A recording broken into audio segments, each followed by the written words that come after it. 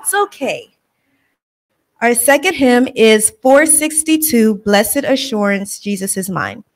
462 Blessed Assurance, Jesus is Mine.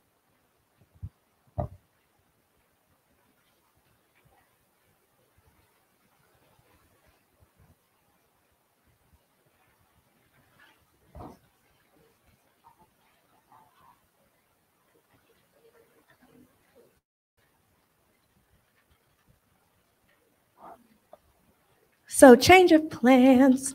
We're going to do the remaining two a cappella so we can so we can slow it down a little bit. Um, so blessed assurance, Jesus is mine, 462. blessed assurance, Jesus is mine. Oh, what a foretaste of glory divine, heir of salvation, purchase of God, born of his spirit, washed in his blood. This is my story. This is my song, praising my Savior all the day long. This is my story. This is my song, praising my Savior all the day long. Verse 2 Perfect submission, perfect delight, visions of rapture now burst on my sight. Angels descending, bring from above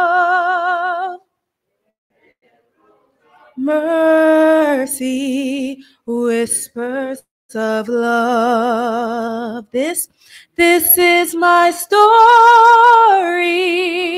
This is my, my song, praising my Savior all the day long. This is my story. This is my song, praising my Savior all the day long. Last verse. Perfect submission, all is at rest. I and my Savior am happy and blessed, watching and waiting, looking above, filled with his goodness, lost in his love. Oh, this is my story. This is my song, praising my Savior all day long. This is my story. This is my song, praising my Savior all the day long. Amen. That was a little better. So, for our opening song, we're going to sing hymn 100, which is actually my favorite hymn Great is Thy Faithfulness. And as you're singing, I want you to reflect on the words. I want you to think about the week that you've had and if it wasn't for God's mercy, grace, and um, his faithfulness to us, we would not be here right now. Um, so, since this is our opening hymn, I'm going to ask everyone to stand. Please stand.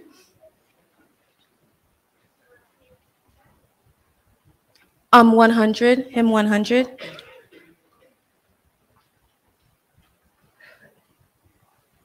And singing. Great is thy faithfulness, O God, my Father. There is no shadow of turning with thee.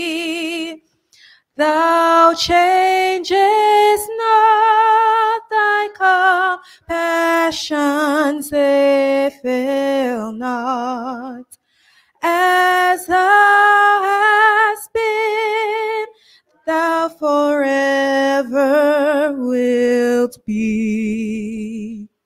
Great is thy faithfulness, great thy faithfulness. Morning by morning, new mercies I see. All I needed, thy hand hath provided.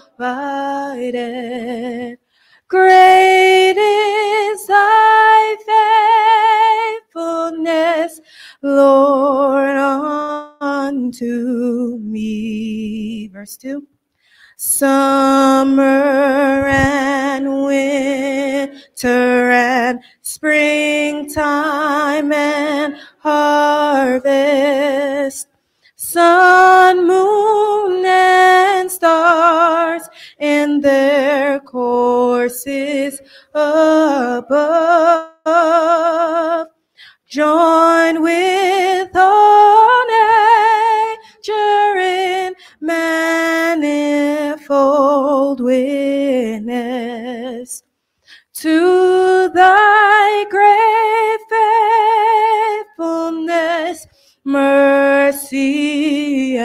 and love. Great is thy faithfulness. Great is thy faithfulness. Morning by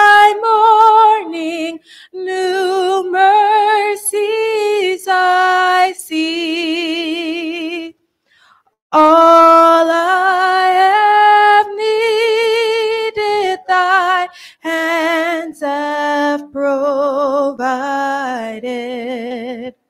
Great is thy faithfulness, Lord, unto me. Really sing out this last verse. Pardon for sin and a peace that endureth.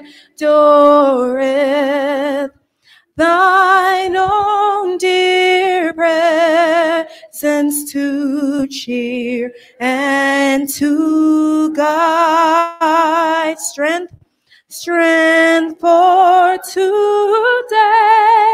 and bright hope for tomorrow. Blessings all with ten thousand beside. Great is thy faithfulness.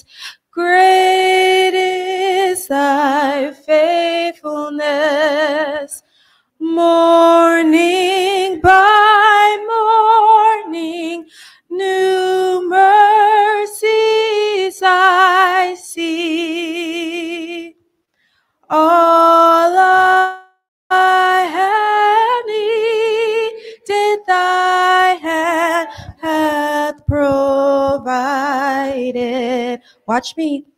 Great is thy faithfulness, Lord, unto me.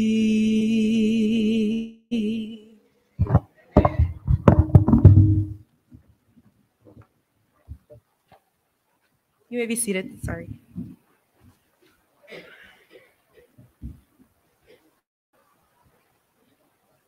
Good morning, happy Sabbath.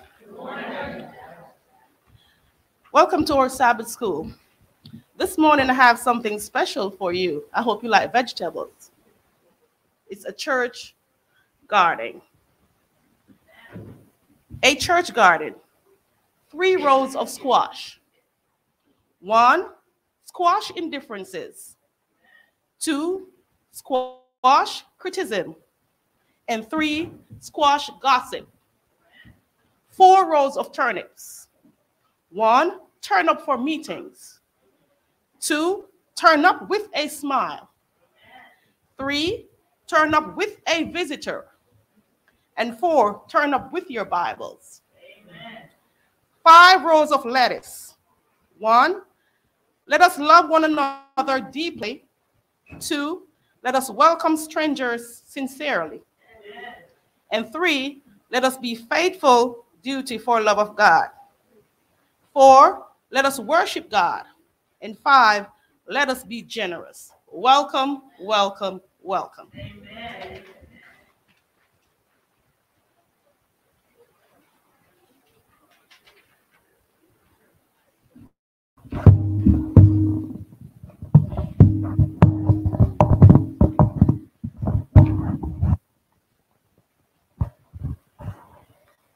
Welcome.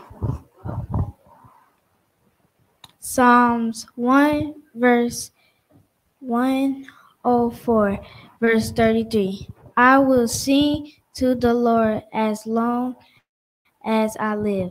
I will sing praise to my God while I have my bringing. Thank you for listening to the word of God.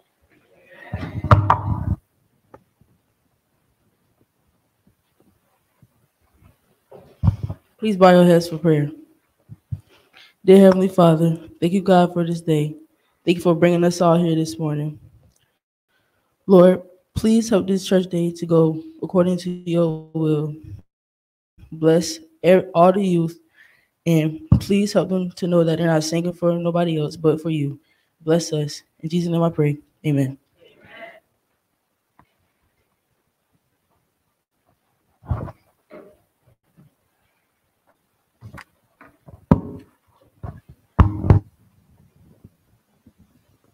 Good morning and happy Sabbath to you, family.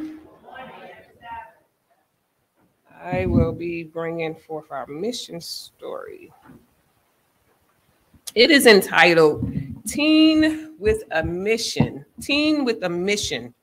Nathan was six years old when his family returned home to India after serving as missionaries in Lebanon. He was a small boy and didn't have any interest in missionaries or mission work. But things changed when Nathan was 12. He became fascinated by the children's mission stories that he heard Sabbath after Sabbath in church. Soon he began to read old copies of the Children's Missionary Missions Quarterly and sometimes even the Youth and Adult Mission Quarterly.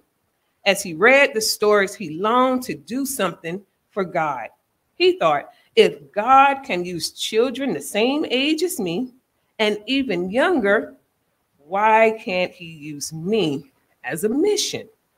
A year passed, two years passed, three years passed. Nathan was 15, and he still felt like he hadn't done anything for God in mission. Then the COVID 19 pandemic shut down India for months.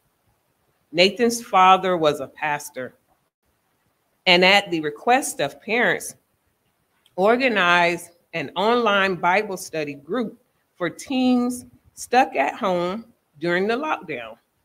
The online group quickly grew to 15 teens, and a number of little children under 10 also joined in. Then Nathan heard his father tell his mother, The smaller ones aren't fitting in. The group has two distinct levels of learning. As Nathan laid in bed that night, he felt impressed to start a Bible group for the younger children. At breakfast, he shared his thoughts with his parents. They welcomed the idea and encouraged him to start right away. Nathan excitedly looked through the home library for materials. He decided that each meeting he would read a Bible story from Arthur Maxwell's The Bible Story and lead a short Bible study from Linda Koh's God Loves Me 28 Ways. God blessed the effort. Soon children were joining the Bible group from around the neighborhood and even other parts of India. Up to 12 children joined each weekly meeting, doing more. Nathan enjoyed reading the Bible, reading, leading out in the Bible group. He felt like God was finally using him for mission, but he longed to do something more. As COVID 19 restrictions were being lifted, after a year later, he heard a sermon about a terminally ill girl who prayed for friends, neighbors, and even missionaries in faraway lands. The preacher said the girl prayed for only three months before she died, but her prayers made a big difference in many lives. Nathan thought, I also should pray. I can pray for many classmates, friends, and the teens in my neighborhood. Classes were resuming at the Seventh day Adventist, where Nathan studied, and many of his classmates belonged to non Christian religions. religions. Nathan wondered who to pray for. He decided to pray for those who seemed to be the most open to Christianity. They seemed to be more fertile soil. Nathan noticed that one boy, Arun, even enjoyed singing at morning worship and listened attentively to worship talks. He began praying for Arun. One day he said to Arun, I'm happy that you are interested in Christian things. Arun smiled broadly. I love singing these songs, he said. Long ago, I accepted Jesus as one of my gods. Nathan wanted to know more. Why did your parents choose this Christian school for you? He asked. We lived on a farm out in the country, he said. The only school bus that comes close to our house is the Adventist school bus. The conversation started a special friendship between Nathan and Arun. Whenever possible, Nathan told him about his love for Jesus. He prayed that those, those seeds would bear fruit.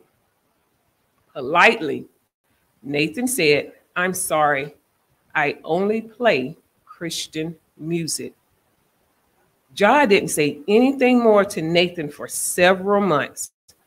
Nathan kept praying for his other classmates and rejoiced as he saw God touching hearts.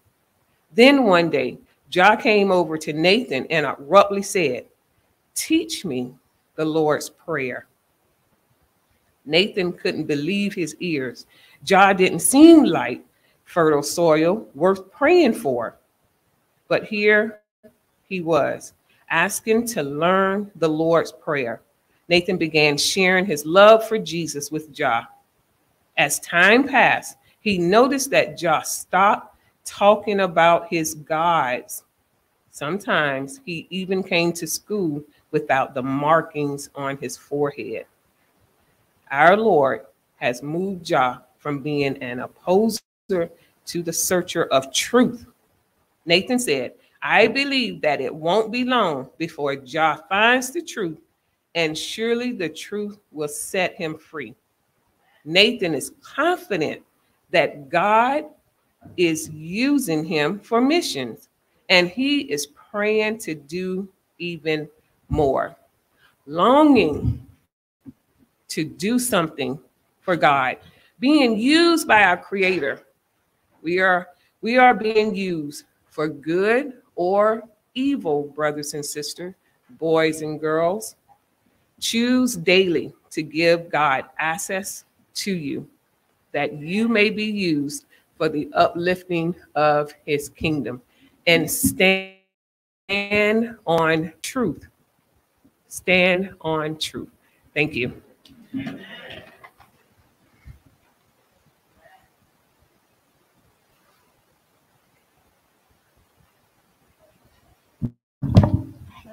Church, let us pray. Dear Lord, we thank you for this day. We thank you for everything that you have bestowed upon us. We thank you for life, health, and strength. Amen. Life can be hard sometimes, but here's a little encouragement. As we all know, we can get very angry at times, but the Bible says, Be angry and sin not. I know that can be a hard thing to do, especially when no one agrees with you. Even though it is not a sin to be angry, what you do when you are angry determines if it's a sin or not. It is even better that I'm a youth because we share the same issue. The reason why sinning while angry is bad is because not only do you sin, but you also can't think clearly about what you are doing. Those choices can lead to serious consequences. First Corinthians chapter 10, verse 13 says, No temptation has overtaken you except what is common to mankind. God is faithful and he will not allow you to be tempted beyond what you are able. The story of Cain and Abel reminds us that not controlling our anger can lead to bad results. There were once two brothers, Cain and Abel. Cain was a farmer and Abel cared for the sheep. One day, God called Cain and Abel to give a sacrifice to him. God only wanted lambs, but Cain did as he pleased. Abel gave God a lamb, but Cain brought his fruits and vegetables. God rejected Cain's offerings, but accepted Abel's offerings. These events made Cain mad. He wanted to kill Abel. God saw that Cain was unhappy and told Cain not to do anything bad. Even with a, warning, God let his Cain let his anger get the best of him and Cain killed Abel.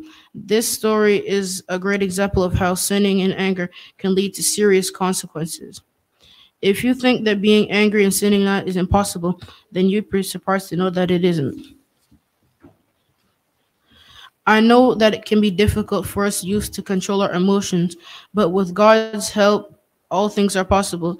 Um, I want the youth to repeat after me, and if the adults feel like they want to, they can repeat after me too.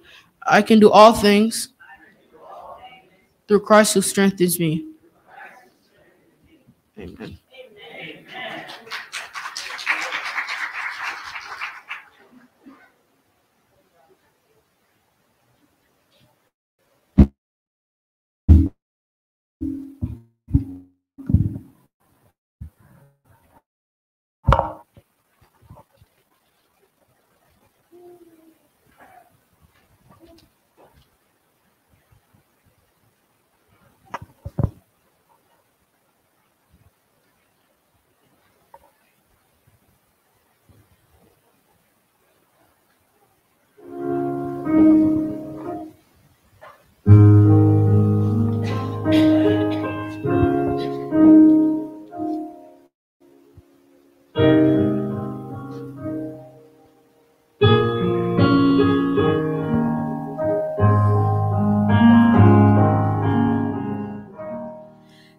I measure down my days. Life carried me along. In my soul, I yearned to follow God, but knew I'd never be so strong. I looked hard at this world to learn how heaven could be gained. Just to end where I began, were human efforts all in vain. Were it not for grace, I can tell you where I'd be, wandering down some pointless road to nowhere with my salvation up to me. I know how that would go. The battles I would face,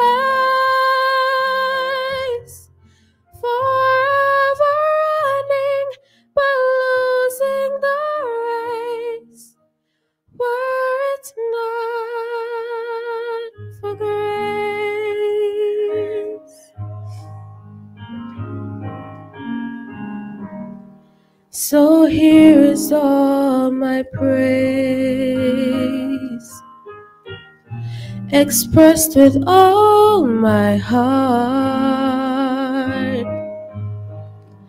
offered to the friend who took my place and ran a course I could not start.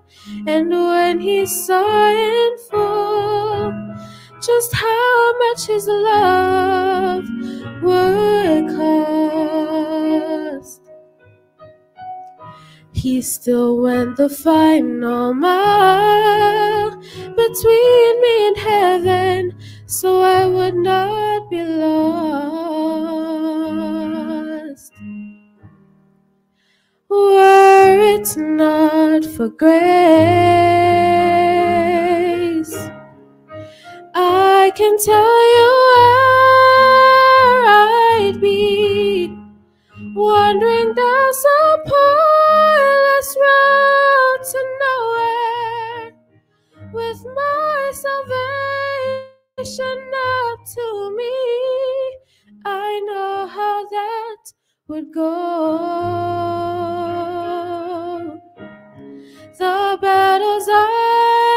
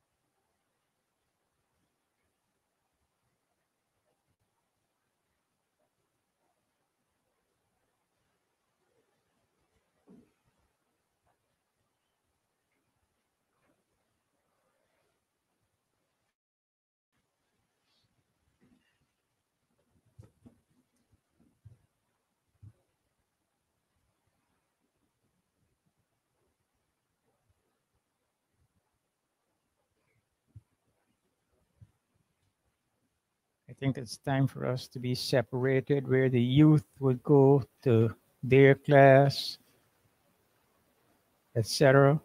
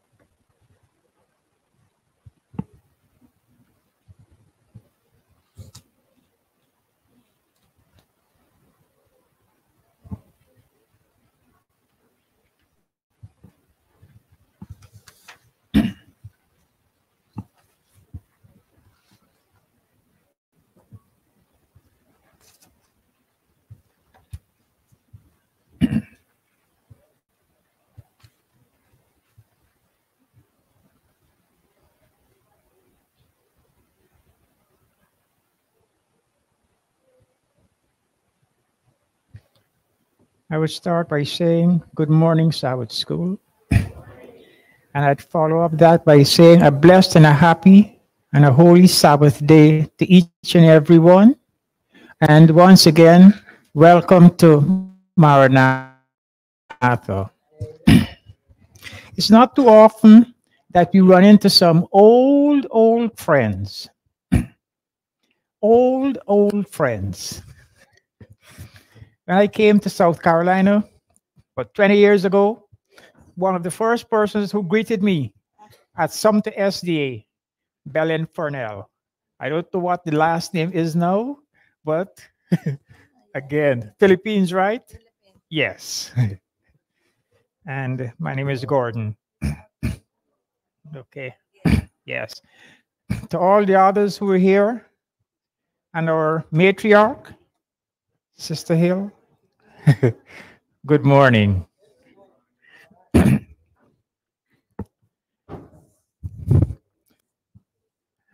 I don't know how the lock falls on me, but for every time it's a 13th Sabbath, I get caught.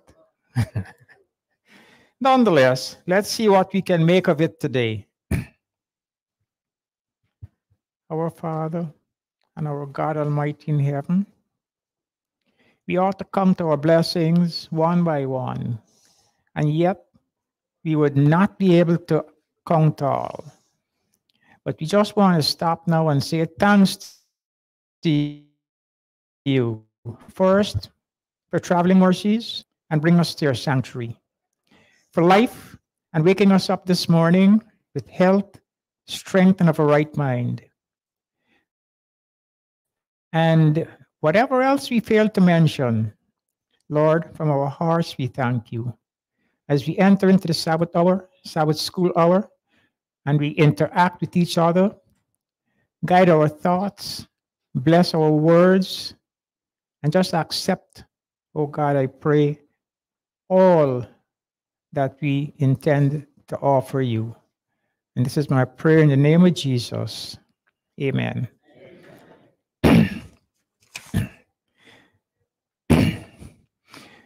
Special music just now was a rendition by by Naje Golding.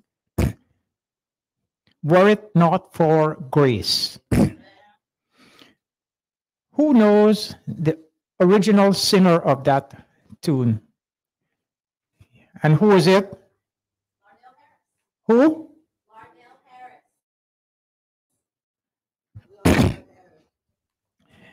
I heard that rendition for the first time from a guy named Rudy Marsh-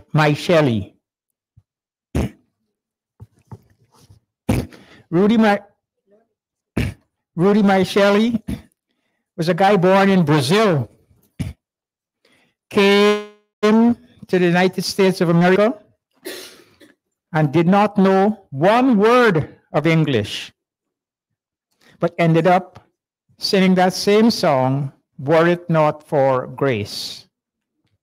A very nice song, and we thank Miss Golding for that. Personal growth message, and all the rest that we had. now for Sabbath school. Each of you should have a Sabbath school quarterly. It's a little book that took some time and effort so that we can enjoy the lessons presented in this book. And having dealt with the Psalms, if I should challenge Sabbath School, how many of you can safely raise your hand and say that you have read Psalms 1 to 150 within this period? How many of you can boldly raise your arm and say, Yes, I read all the Psalms 1 through 150 within this quarter. Anybody? I guess I have no takers. Anyhow, we move on.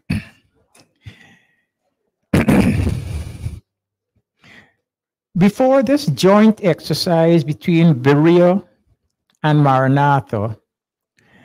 When it was just Berea, when it was just Maranatha alone, and if I had to present the 13th Sabbath lesson, I would normally take a little bit of time and look at lessons 1 through 12 and see how we ended up at lesson number 13. The introductory lesson says how to read the Psalms. So the author of the quarterly is actually giving you an idea of how you ought to consider reading the Psalms as you progress through the quarter. Then, next, and a very important, the author thought, well, reading it is only one aspect of it, but you must read it in a special way, which is pray first. So they went on to say, teach us how to pray. And if you're going to pray, then who are you going to pray to? To the Creator. That's the Lord who reigns in heaven.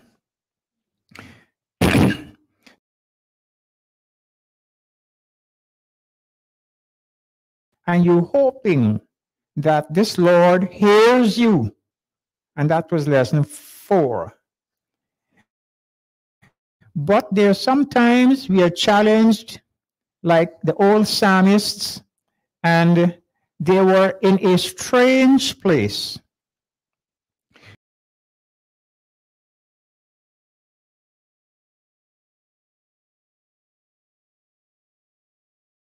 Place.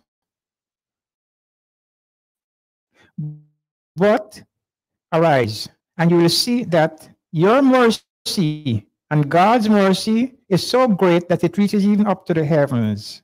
So try to live a righteous life. But we come on to the next in lesson 10. If you tend to forget, if you forget what's happening to you now, you will make the same mistake as you go ahead in the future. So the psalmist was even warning us about not repeating those mistakes. Longing for Zion at lesson 11. And then I had a difficult time trying to come to grips with this lesson 12 worship that never ends. How do we understand that? Worship, what is worship for of all. Worship that never ends means your whole life should be a life of worshiping God. your living, your everyday living should be a praise. Okay. Any other taker? Worship that never ends. I saw it in a different way. From the creation of Adam and Eve, there was worship. All through the ages, Abraham's time, Noah's time, Moses' time, until our time, we continue to worship. Worship began then. Worship continued through their era. And worship will continue even after we are gone. So when you see worship that never ends, it told me there was a beginning of worship and that there will be an end to worship, or no, there would not be an end to worship because it never ends. So, what happens to us today? our lesson 13, it says we need to learn to do something. And what's that? To wait on the Lord. How many of us, honestly, honestly, don't find it difficult? You get up this morning, it might be you were the husband, and here's the wife. and you are ready to jump into the car, and she is still putting on her makeup. and you want, where is she?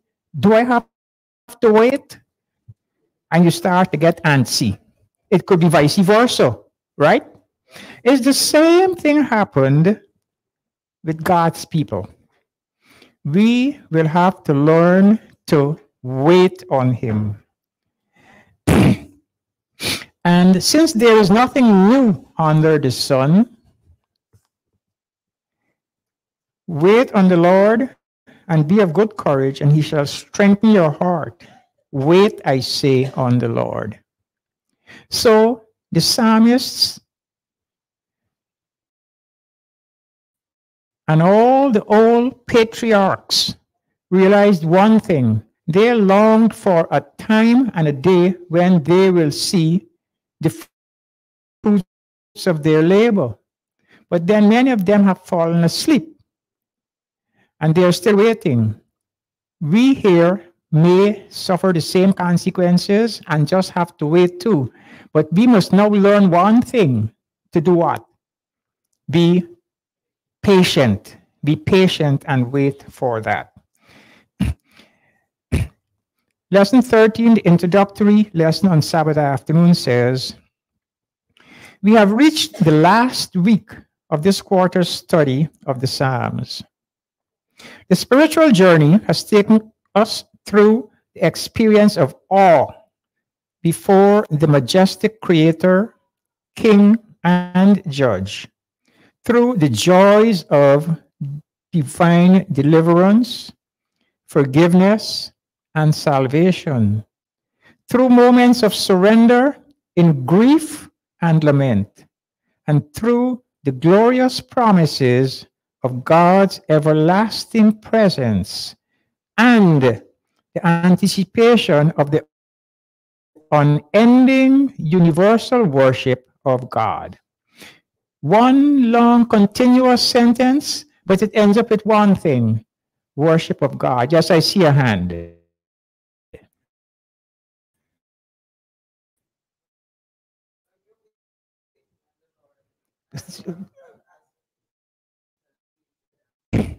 I, I'm,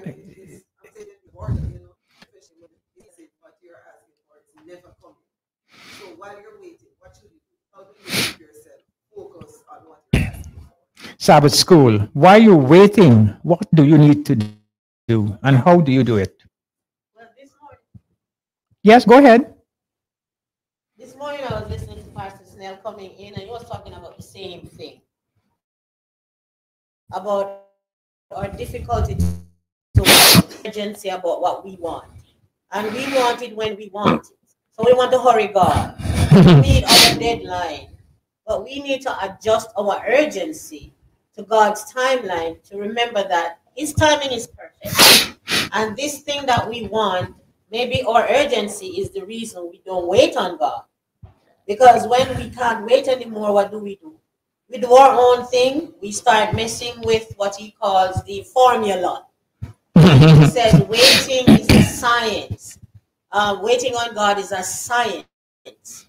That if we should only find out why God is making us wait, then we would wait more patient.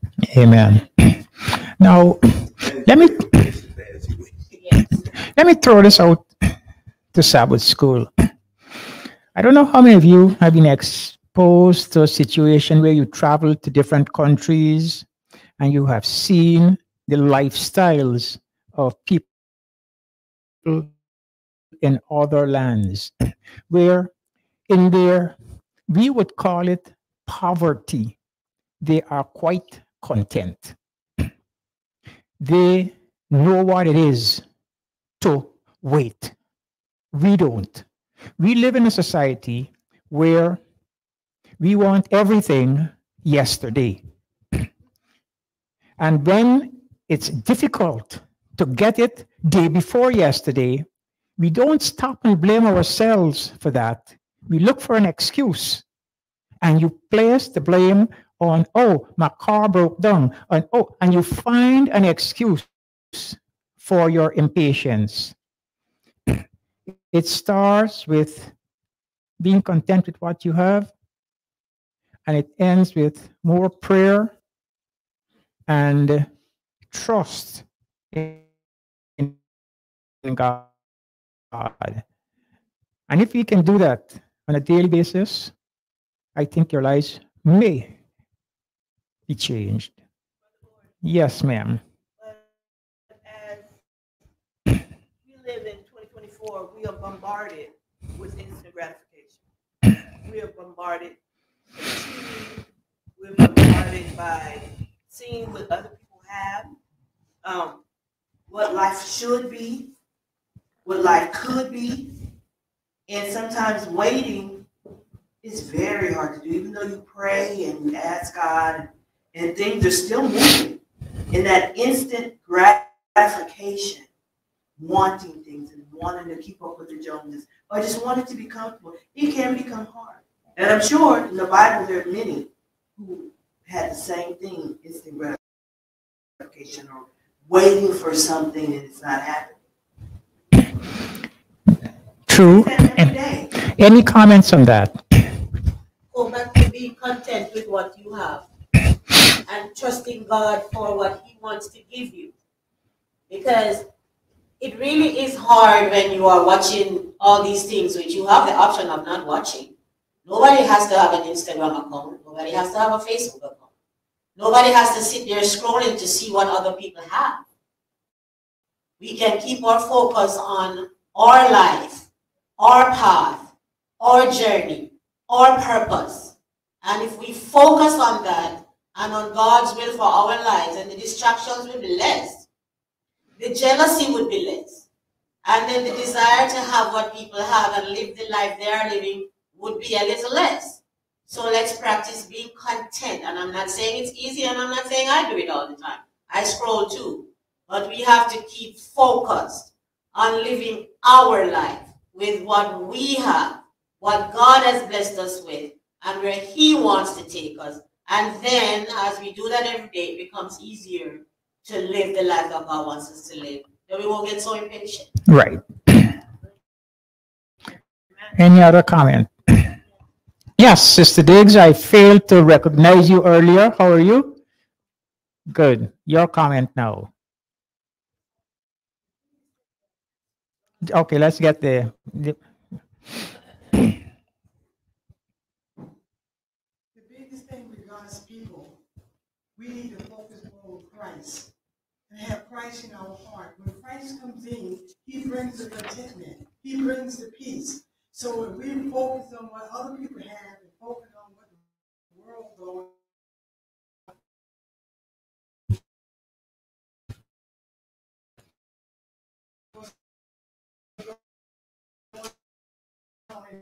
in the world, instead of focusing on.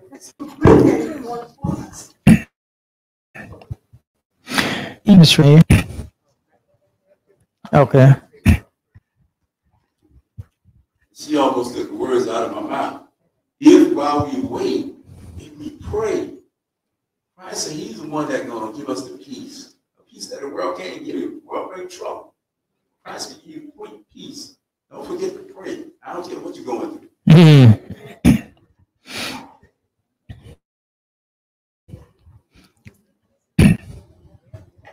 Just um, a little contradiction, not to say that is that's how it is, but also if we look, and you know, sometimes we say that you know people pre- preach prosperity and they do all this and it is not. But if we do look at the Bible, those persons they had hundreds head of goats and they had, and so sometimes in yourselves you'll be like, um, if they were so rich, even though he took away so many things from Job, he gave him so much. So I think sometimes what we also do is get caught up in the idea, me guilty, of the idea that these persons had so much, God bless them. It's as if you're saying, okay, once you serve God, it is a blessing and you're going to be blessed with all these things. Because even though these persons suffered for a while, afterwards they were truly blessed with material things. Okay. As we are going through this, the next paragraph says, waiting on the Lord is not an idle and desperate bidding of one's time, biding of one's time. Instead, waiting on the Lord is an act, A-C-T, full of trust and faith. A trust and faith revealed in action. And sometimes when I go through these thoughts, I see your hand. I search for examples in the Bible that I can relate to. And the first one that came to my mind was that of Jacob. He had to run away from home. Where he found himself? In whose camp? In Laban's camp. And there he fell in love with Rachel. He was tricked. And how long did he have to wait to get Rachel? 14 years. That's what you call waiting. So, like I say, when you get to a point, and that's why it's very important to be able to read your Bible, to know where you can fall back on a story that is going to teach you a lesson. And then you take it from there. Yes.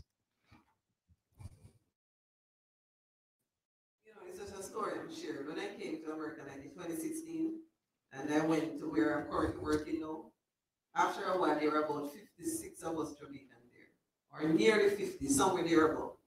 And then I remember, like, you know, they were just leaving, leaving, leaving, leaving. I know people were asking, so you're not leaving too? You know, you're not leaving too, you know? And I said, are you going to stay in the bush, you know? And then after a time, um, I was living there too. And then after a time, you know, they said, so if you're just going to wait and everybody going to leave you down there? And I said, you know, I, I just said, I felt bad sometimes, you know, because, you know, people were saying things and so on. And then, you know, two years ago, only two of us were left. Everybody left. I left only two of us. And then, you know, I finally moved from there to Sumter, but I'm still there now. And I'm saying, you know, based on that situation, I've learned to just wait. And as you said, I learned to look at my life, as Sister Jasmine said, and see what fits me, not what fits other people, because I don't know, you know, why they were, why they were running. And I'm still there. So that situation has taught me, number one, you can't follow people. You have to look at your own situation and see what's best for you. Because they made me feel so bad as if, you know, why I'm not running too or, you know, moving. But then after a while, I got comfortable with what's best for me. And I said, when God is ready, he'll do what he needs to do. Amen. Yes.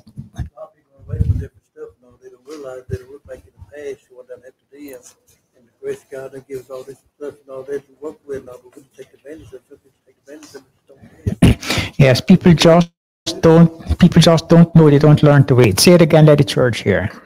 Like I said, people don't look around and see what the beauty God give everybody and and everything.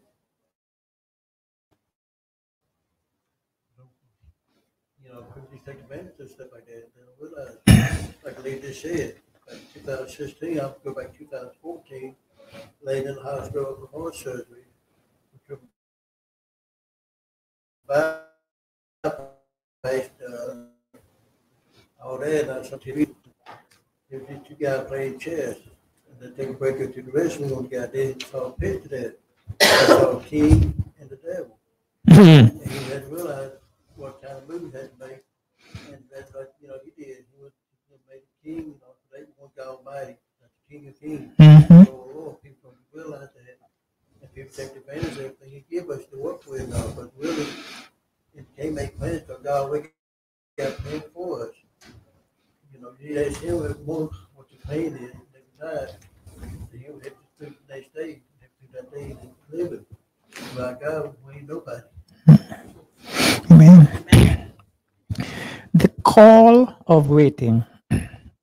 Perhaps one of the greatest stresses in life is the stress of waiting. They refer to it as stress, a test of your fortitude, a test of your patience, and how willing you would be to just relax and rather than become frustrated, you go on your knee and you pray. And when you're going to do that, you do not use God and His infinite mercies like a credit card. Where, because you find yourself with your back against the wall, you pull it out, you flash it, and you get the money. It don't work that way. To be constant. When she came in and I must say, over 40, 50 years, I paid my dues, but I never complained. I should, I take that back. When I first came, I complained. when I first came, I complained because I left in my country a job where I was solid and had gotten to a certain educational level. And when I came here and had to revert back to working for three dollars and ten cents per hour and having a wife and three children to raise, I got so mad. I went to my parents who were here before me and I said, I'm packing up and I'm going back home. my dad says to me, Don't be stupid. You broke up one home to come here. You're going to break up a home here to go back? And there were other little hitches in my mind. Nonetheless, I stuck it out.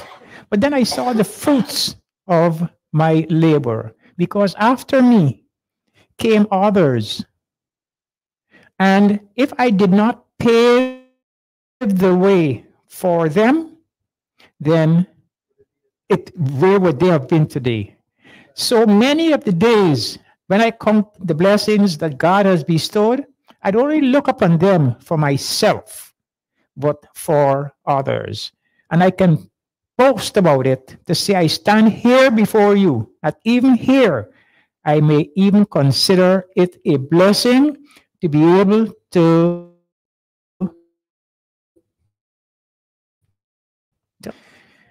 Yes. I just want to say, I know waiting is, is terrible sometimes, feel bad sometimes. But you how many of you all, you all been on a job and you didn't have a whole lot to do, you know, particularly. All you sat back and did was look, at the clock, right? But if you, you were busy, your day would go by much faster. And so if we occupy while the Lord come, if we say that Jesus, I must be about our Father's business. If we busy, busy doing God's work, we would be so bad. What, what does the book of Acts, chapter 1, verses 4 to 4 to 8 tell us? Yes, Sister Jasmine. While you're looking for that, back to Jacob's story. Did God tell to wait for Rachel, or was that his choice? For 14 years, you're telling me you find somebody else to marry? I'm just asking. So sometimes we need to ask ourselves if this thing we're waiting for, is it God asking us to wait, or is it- is it us? It's both. So how about if we make sure our desires line up with God's will, so that we don't wait too long, and that we don't worry about if we have to wait, because what we're waiting for is what God wants first. And I know, I don't know about that, but When we see when we see that scripture verse that says a day is like a thousand years and a thousand years like a day, how do we interpret it? How do you see that scripture verse? Yes. Thank you. That time for God is. You don't measure it. So when you think that 14 years seems like everlasting, it's right. He needed to work for those, those 14 years. And like I said, we can always extrapolate from the Bible. Some story, go to Jacob's son, Joseph, who suffered all the punishment and did what? To come out ahead to rescue his brethren. Waiting. Did he wait and curse God? Did Job wait and curse God? And these are the other instances in the Bible that you will see that will teach you how to W A I T. You know, brother, um, also concerning, uh, see, Jacob, Oh, it said Jacob, Jacob waited back a week. While he was waiting on Rachel, he said, time, he, he didn't mind the time. The time went by like, that's another point. That if you're waiting and waiting with contention in your heart, time goes by. Time don't seem to matter to you anymore.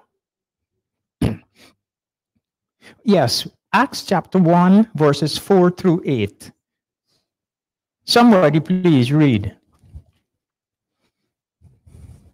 He assembled together with them, commanded them that they should not depart from Jerusalem, but wait for the promise of the Father, which said, We have heard of you." For John truly baptized with water, and you shall be baptized with the Holy Ghost not many days. When they therefore were come together, they asked of him, saying, Lord, Will thou at this time restore again the kingdom of Israel? And he said unto them, It's not for you to know the time and the seasons what the God has in store. But you shall receive power after that the Holy Ghost is come upon you, and you shall be witness unto the me both in Jerusalem and all Judah in the Samaria and unto the uttermost part of the earth. Okay, thank you. How do we view and how do you understand the interaction of the Holy Spirit in your life?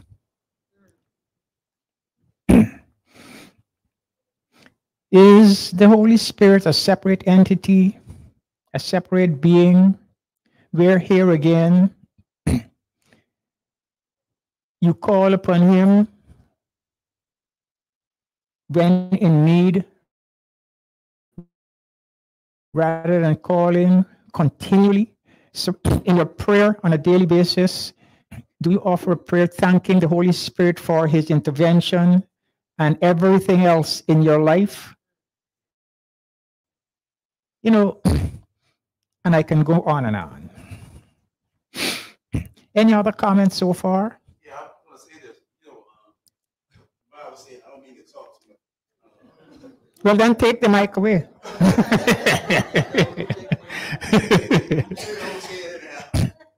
The Bible said there, wait on the Lord. If you wait on the Lord, the, the Lord promised, yeah, wait on the Lord shall renew their strength. Yes. They're mount Mount up up like wings. Yep. They shall run and not be weary. Yep. walk, they shall not Faint. And then you, you get like this. Every morning, I, I look at when I get up in the mornings, I, I look at it as a new thing. Because God promises us new mercies. Each experiences each day. You got something to look for every day. Every day. You're doing it with God. All right. I had some trouble understanding and coming to grips with Monday's lesson, which says, Peace of a weaned child. Mothers, you know that you have a babe and you want to take, especially those who are breastfeeding, you want to take that away from them. Is it easy? so, how then can a weaned child be at peace? Somebody help me.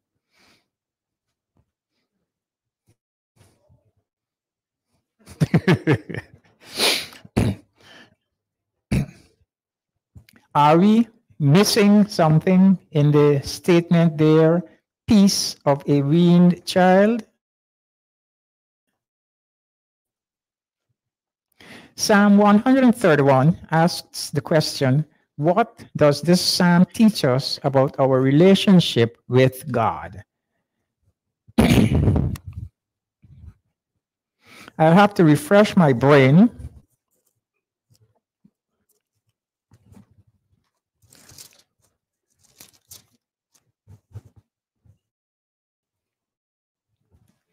Lord, my heart is not haughty, nor my eyes lofty. Neither do I concern myself with great matters, nor with things too profound or too deep for me.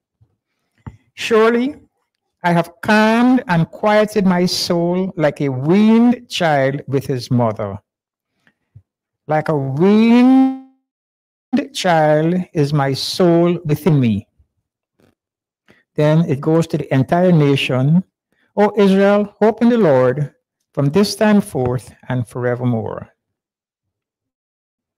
and then when I read the psalm again, the meaning became clearer. Like a weaned child is my soul. So, how do you understand the word soul? Meaning what?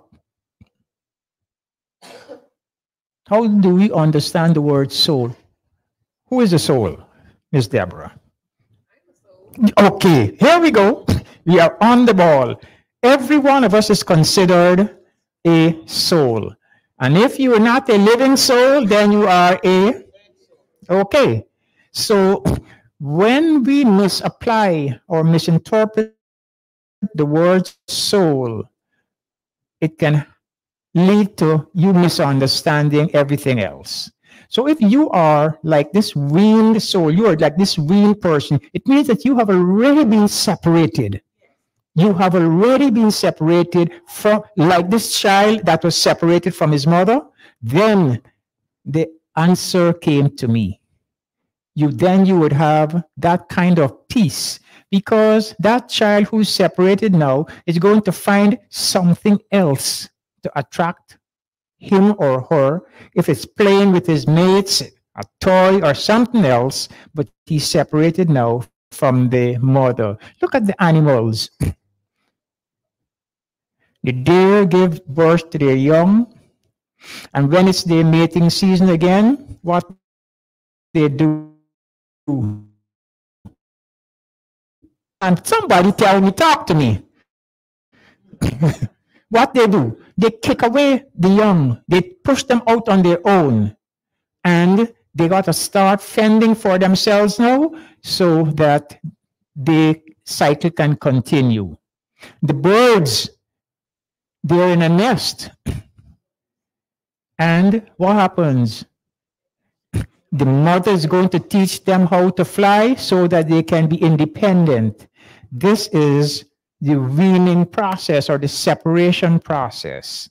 So you now have to be able to separate yourself from the cares and the worries of the world and behave in a way like that weaned child where the attraction of mama is no longer there. It must be the attraction of self and independence, and that independence is reliant upon upon God. Thank you. upon God.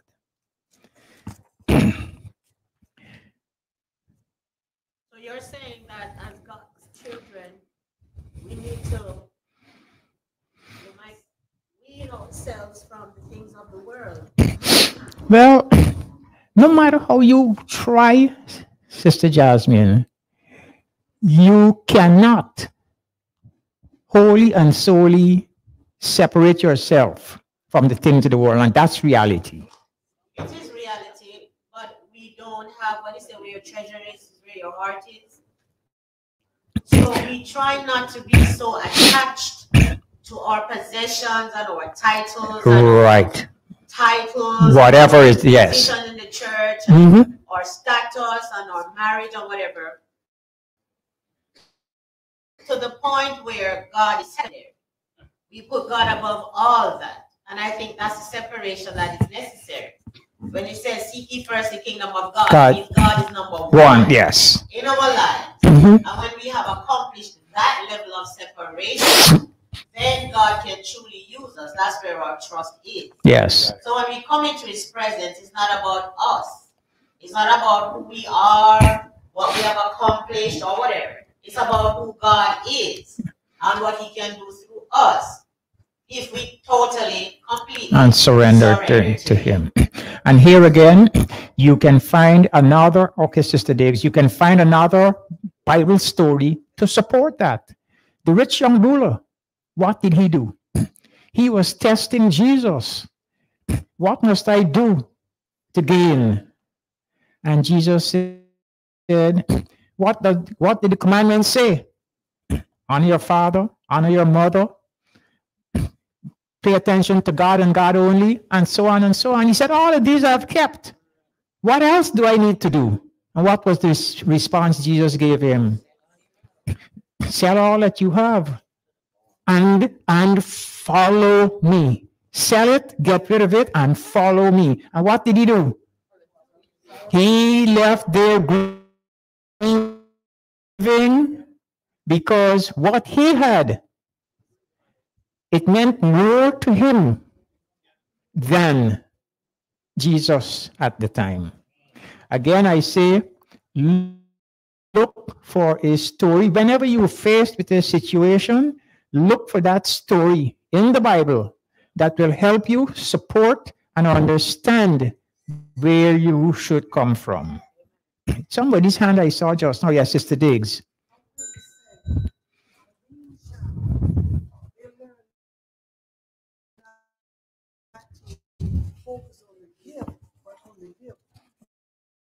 Oh, Okay.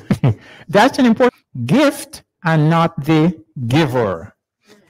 I have, well, we have to cut short. I was asked to truncate or cut the lesson for um, to accommodate other parts of this service. Wednesday's lesson, Tuesday's lesson says bringing in the sheaves, the Lord's miraculous deliverance in the past are inexhaust an inexhaustible source of inspiration for God's people. Waiting in God's Sabbath rest, praise God for the great works of his hands, and finally, and to wrap up this quarter's lesson, it says, Joy comes in the morning.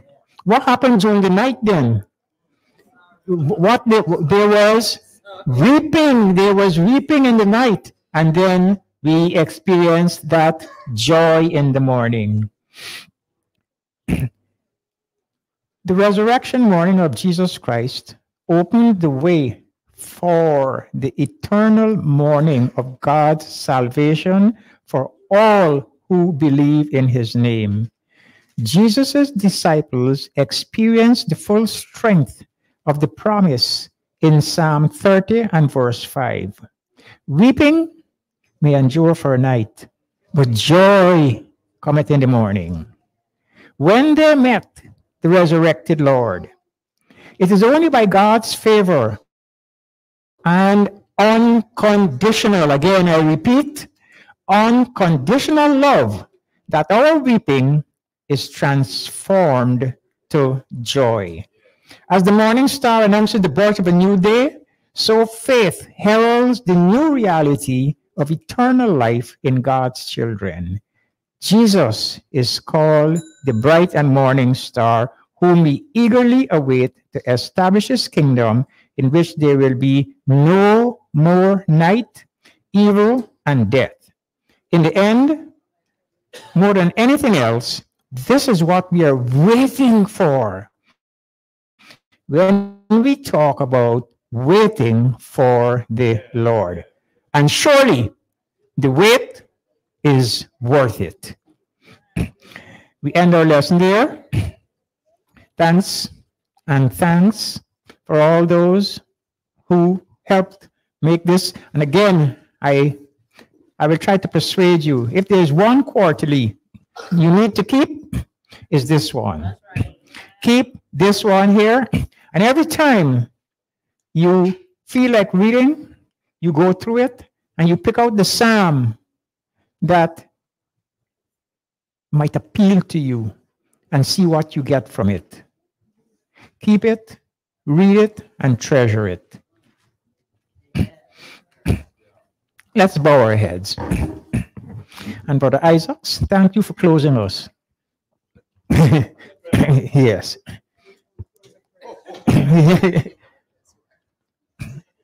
it's Isaacs, right? Yeah, yeah, okay. And don't miss yourself out.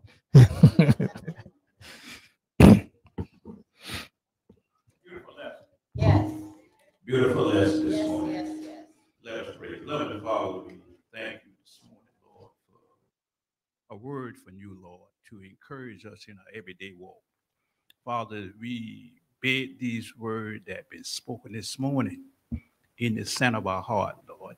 You give us uh, new light on life. You give us the direction that we need to go, that we may have a closer walk with you. Father, we thank you for the elder who give this beautiful lesson this morning.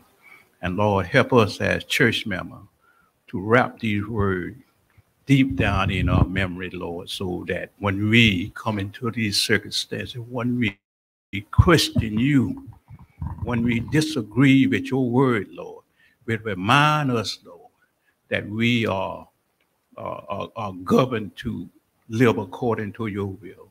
So, Father, be with us as we continue with this worship the Spirit this morning. Bless us, I pray, in Christ's name. Amen.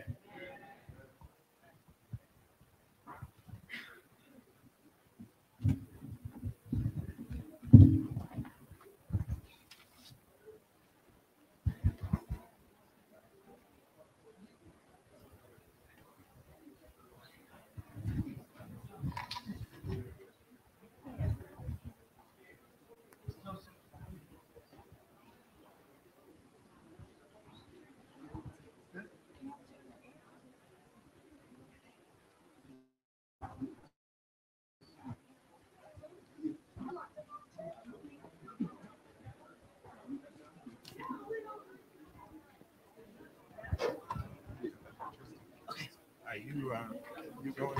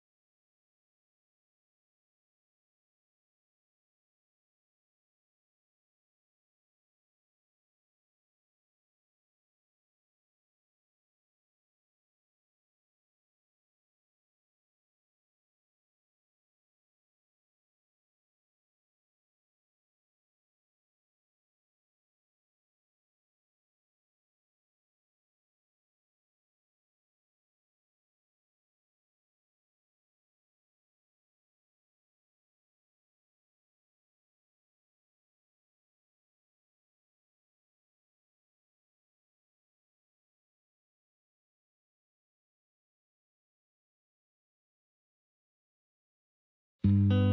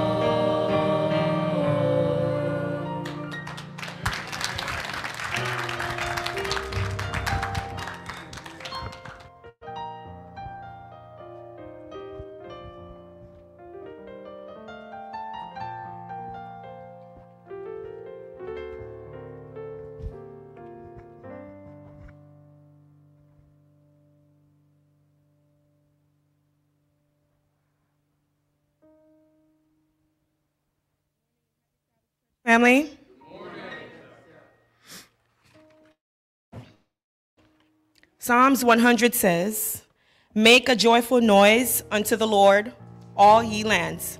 Serve the Lord with gladness. Come before his presence with singing. Know ye that the Lord, he is God. It is he that hath made us, and not we ourselves. We are his people, and the sheep of his pasture. Enter into his gates with thanksgiving and into his courts with praise. Be thankful unto him, and bless his name. For the Lord is good, his mercy is everlasting, and his truth endureth to all generations. We ask that you please stand and lift your voices as we sing Praise God, from whom all blessings flow.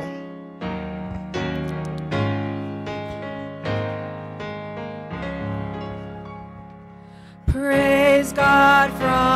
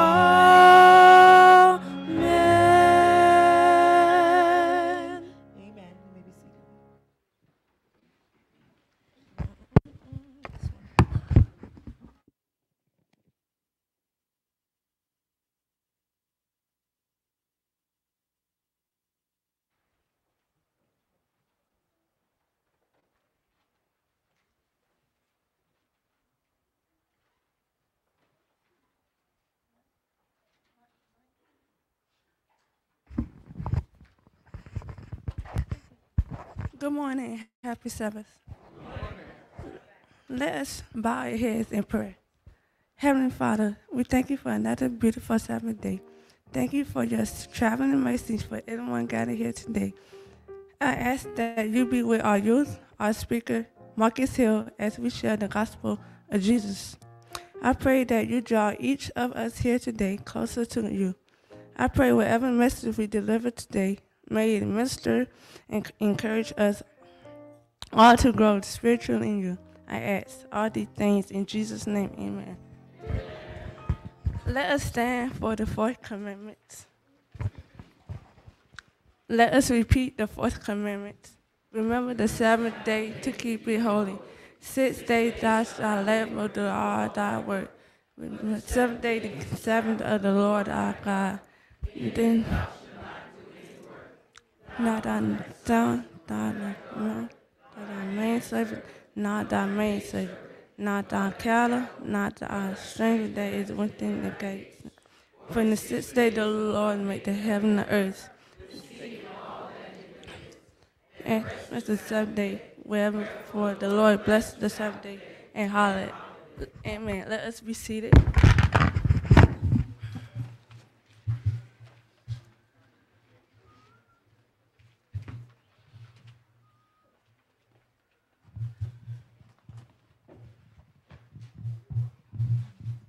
Morning and happy Sabbath.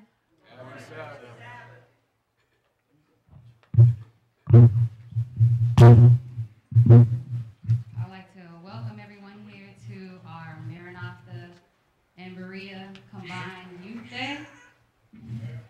Um, I'm a little nervous. I always get nervous. Y'all make me nervous because y'all look so good this morning. For those visiting for the first time um, here at Maranatha, please let me introduce myself. My name is Nora Fihoko. I am the youth leader here at Maranatha.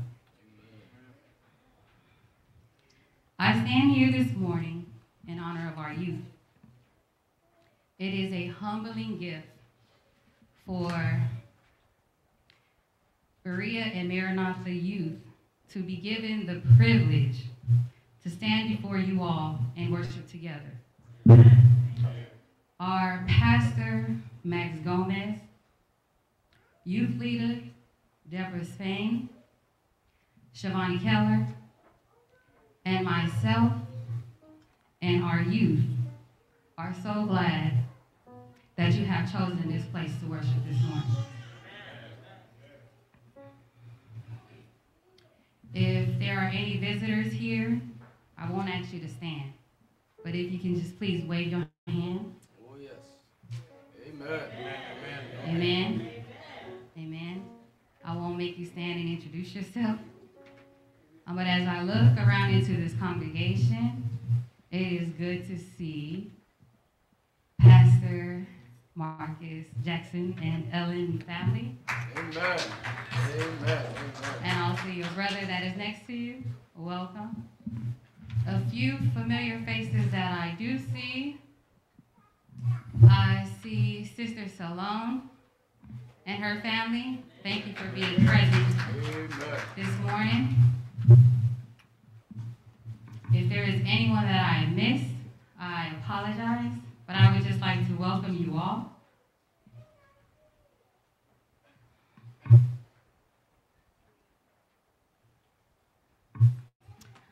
Um, I do not want to miss this opportunity. I do see some of Maranatha's old youth members um, that is present today. One, who is one of our very own as well, is our guest speaker. Amen. And also his wife, who is present today. If I may ask, if, let me see, I don't want to call y'all old. But if the past youth of Maranatha could please stand. That would be Marcus, Terrell, and Xavier. Amen.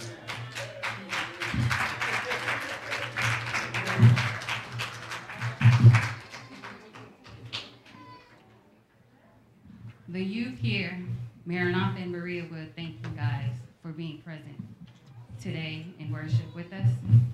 I ask that as, as you guys continue to journey with your everyday beings, that you continue to keep us in prayer, and we will also keep you guys in prayer. Thank you. Moving right along into our bulletin, um, will be our announcements.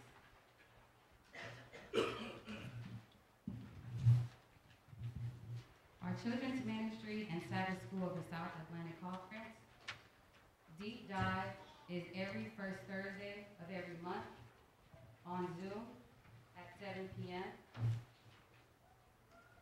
Wednesday prayer meeting will be 7 p.m. on Zoom. Health is Wealth. Health is Wealth is April 13th. We'll be here at Maranatha. Our Sabbath School Children's Ministry training, April 20th. It was in Berea and I believe Decatur, Georgia. April 20th will be in Raleigh, North Carolina. Our vir- virtual AY Week of Prayer will be June 2nd through the 6th. Tri-State Federation, which will be at our River Oaks Campground here in Orangeburg, South Carolina. That will be June 7th through the 8th. Worship Arts South Atlantic Conference invites all singers to join for camp meeting. That will be our choir, praise and worship team for camp. And I just wish you all a wonderful Sabbath.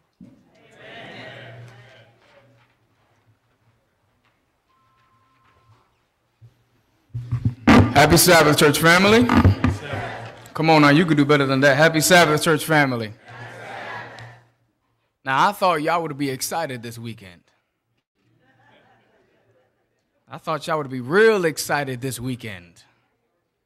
I don't know if you all have seen in the neighborhood, people got bunnies all around the homes and they got purple eggs, green eggs, pink eggs, white eggs, red eggs. Somebody asked me, Are you excited for, for Easter? I said, No, I'm not excited for Easter. Well, no, because didn't no bunny saved me. Come on now, somebody. Did, didn't no eggs shed their blood for me. Come on now, somebody. This, this is not a celebration of Easter, church family. This is a celebration that the Pharisees could not stand him. Pilate could not stop him. The cross could not hold him. The grave could not contain him. You ought to be excited, family, that on this weekend, we celebrate a risen Lord and Savior. Come on now, somebody. And because Jesus got up, that means that you can get up as well. If Jesus got up from the grave, that means you can get up from that job, from that marriage. Y'all don't want to talk back to me today, huh? You can get up from the ashes, from the depression, from the sadness, from the health crisis. If Jesus got up, it means that you have the same resurrection power. Come on now, somebody. And the beauty of the gospel is that we have this hope that the same power that resurrected Jesus from the dead is the same power that will resurrect our loved ones in that great, bright, and early morning. So you ought to be excited today, family, that on this weekend, the grave is empty. They have searched all over and they cannot find the body.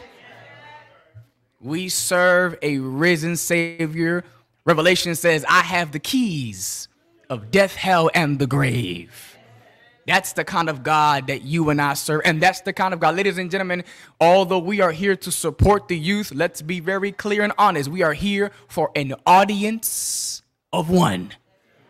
There is only one who deserves the honor and the glory and the praise and the hallelujah and the thank you, Jesus, and the clapping of the hands and the stomping of the feet. Only one deserves the honor and the praise. I'm so excited to be here with you all today.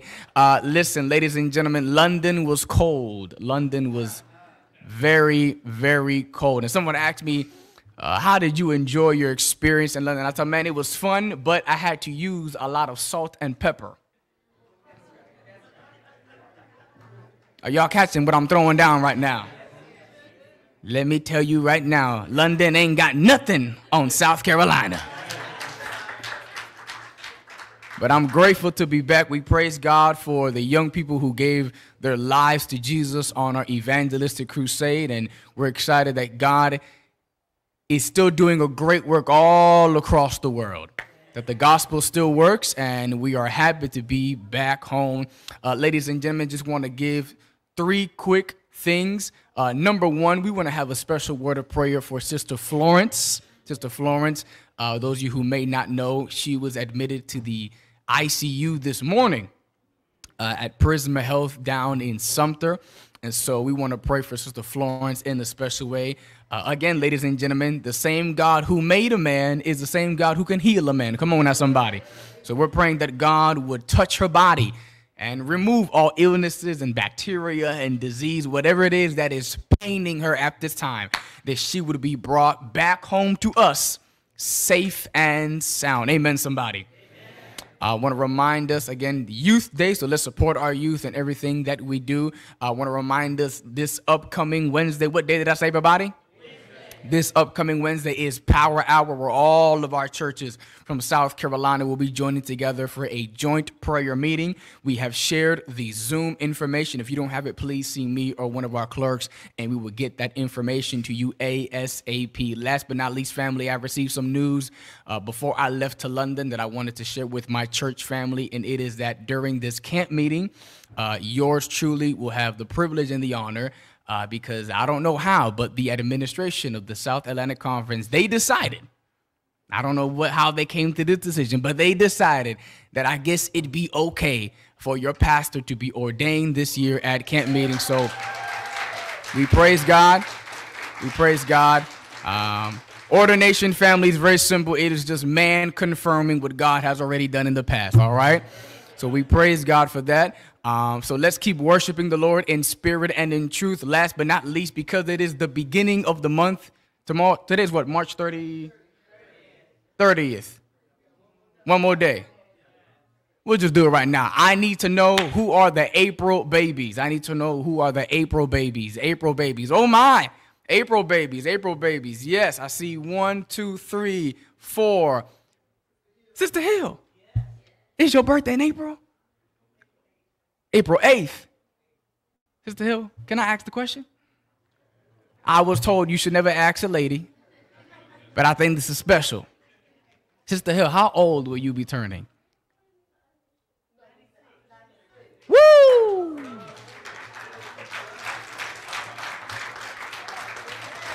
Ninety-six. Y'all, that's that's a legend right there. That's a legend. 96 years old. And anyone else? Any other April babies? April babies?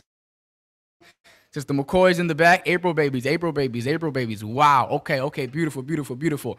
Oh, Sister Perkins. Yes, I saw the hand. I saw the hand. Oh my. Oh my. Oh my. Yes. And I think I saw my sister in the yellow as well. Yes. Beautiful. Tomorrow.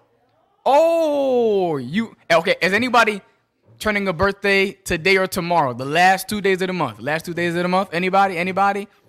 Wow, beautiful. Oh, I, I was told to check my phone. All right. Yes, I would do that. I would do that. All right. Uh, anybody got married in the month of April? Anybody got married? Now, if you don't remember your anniversary, yes. When is your anniversary? The 28th of April. Wow, beautiful, beautiful, beautiful. So let's do a quick happy birthday song. Put me in uh put me in A sharp. Is that a key? Here we go. Let's do this on the count of three. And happy birthday to you. Happy birthday. Happy birthday. Happy birthday to you. Amen, church. Want to remind you all at 5:30 today. What time, everybody? 5:30 today. We're having a bonfire at the McCoy Farm, so please bring a chair and an empty stomach. All right, please bring a chair and an empty stomach. Let's continue to worship the Lord in spirit and in truth. Amen.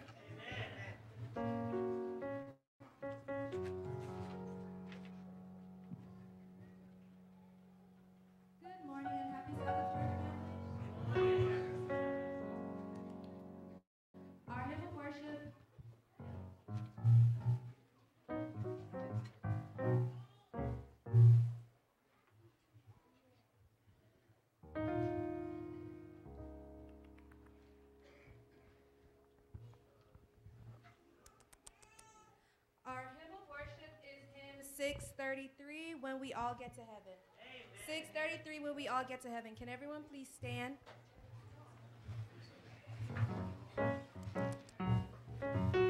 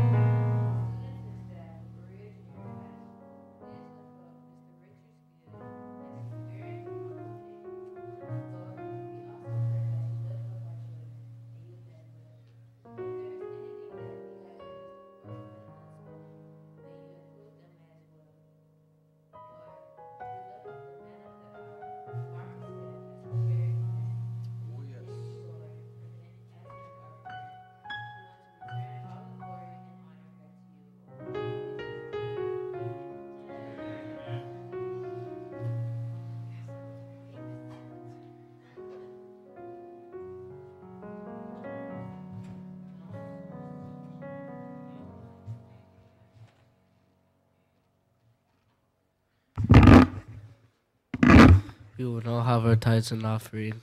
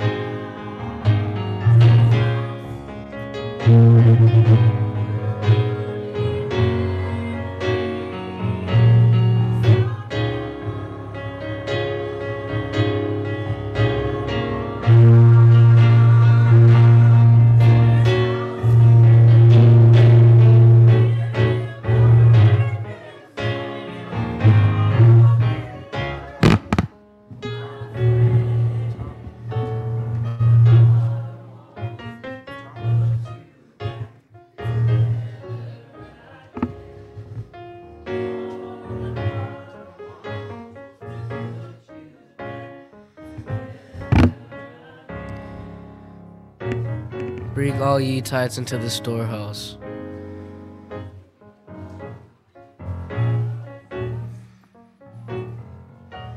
I don't think I remember the rest, so let us pray. Dear Heavenly Father, please bless the tithes and offering. Please help us to enjoy the rest of this service, even if we haven't enjoyed it already. In your holy name, amen.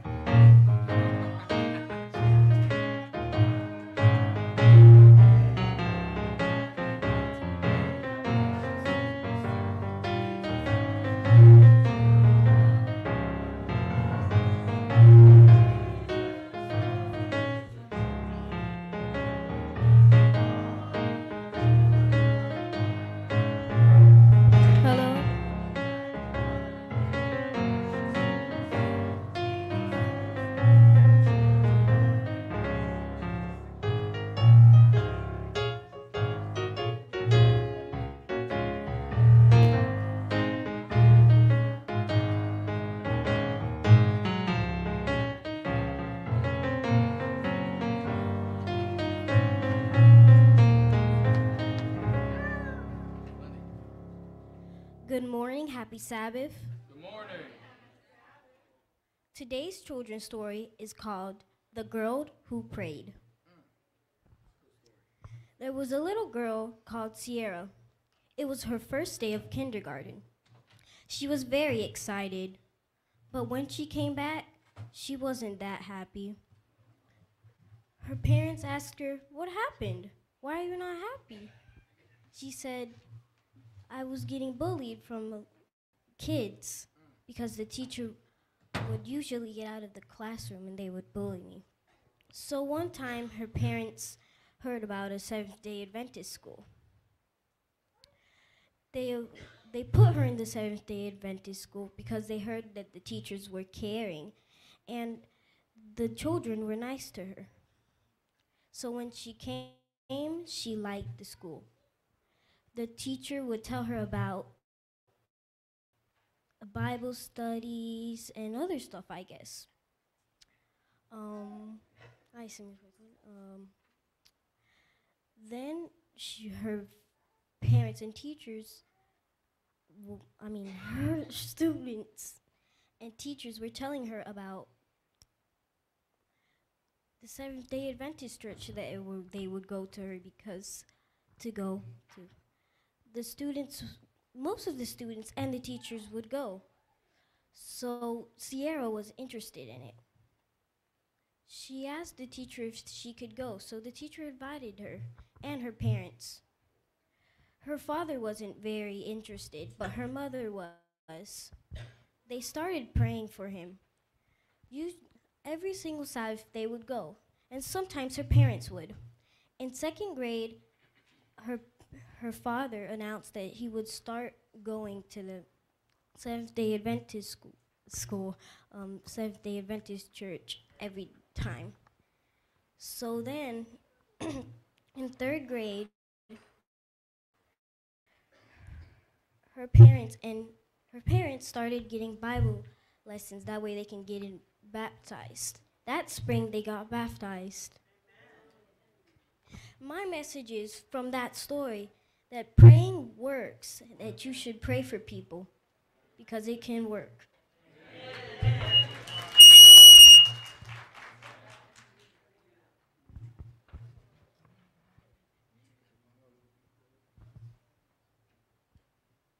Well, it's time to co- collect the offering.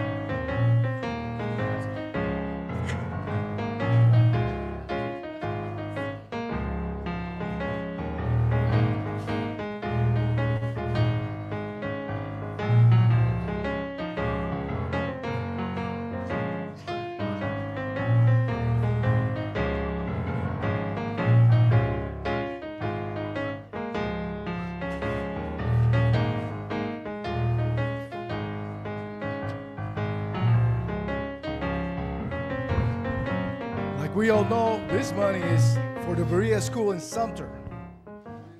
So please give generously.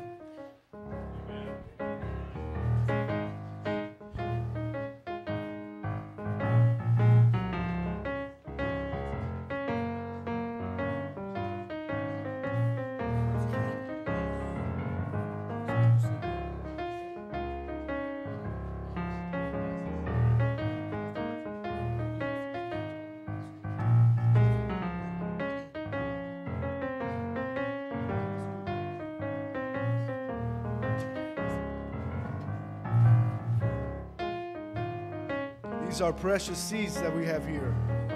You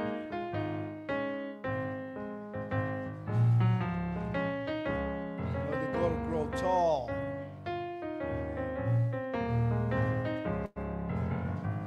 So other people can climb and see Jesus from them.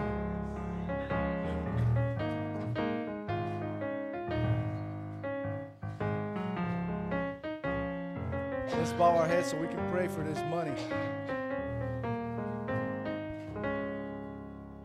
Thank you, Lord, for these beautiful children that you give us. Please, Lord, bless them. Help them not only be the future, but be our future. Lord, help them not only complete the mission that we have, but also be good for others. Please, Lord, bless the money that uh, we have picked up. Please uh, help it to be great for that church that you have over in Sumter. Let that let that school be a light for others so they can see you and only you. Thank you, Lord, again for these children and give us the wisdom to take them through your way. In the name of Jesus, we ask for all of this. Amen.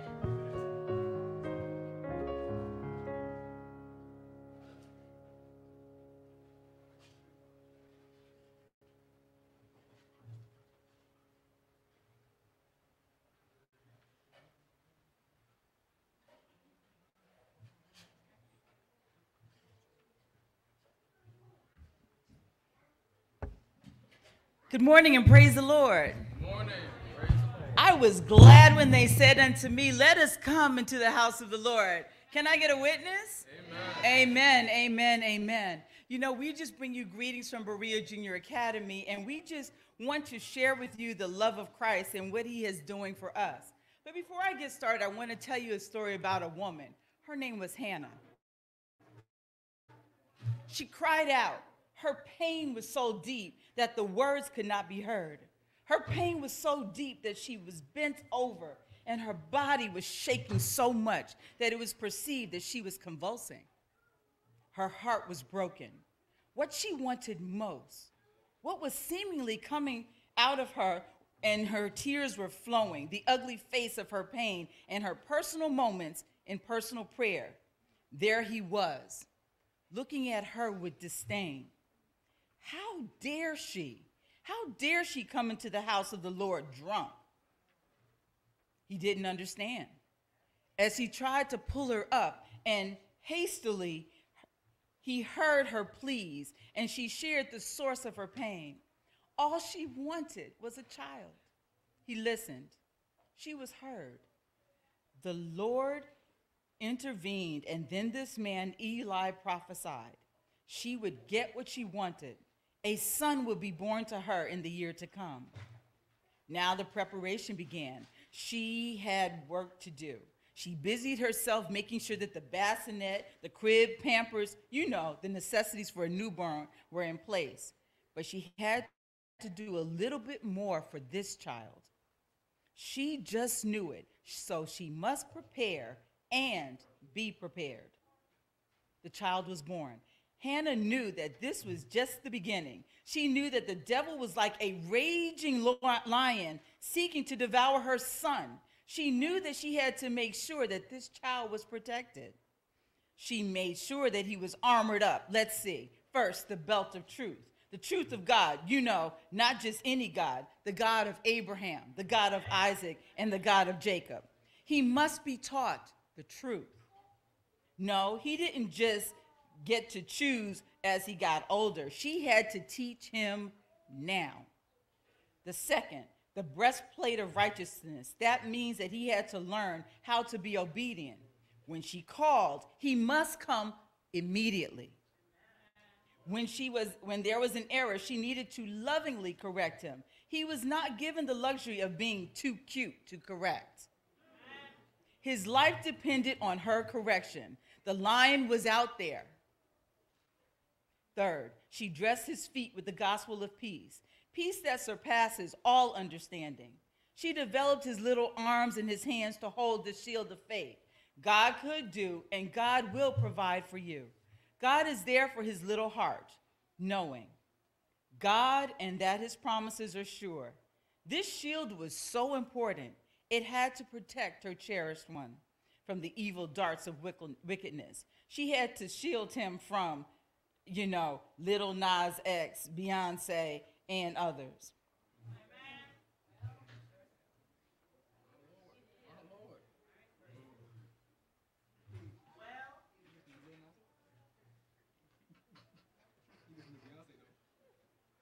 She knew that not just any school would suffice for her son. She had to keep her baby from what? That lion. She knew that she needed to make sure that her son was trained by the best for God. And so she prayed and begged for her son to be at the school of the prophets. And at the tender age of just three years old, she knew the importance of Christian education. At BJA, our foundation is prepare our students for service of God and for heaven. We began our year with prayer and we are and we are continuing on. And at this time, I would like to share with you a little bit of what we are doing at Berea Junior Academy.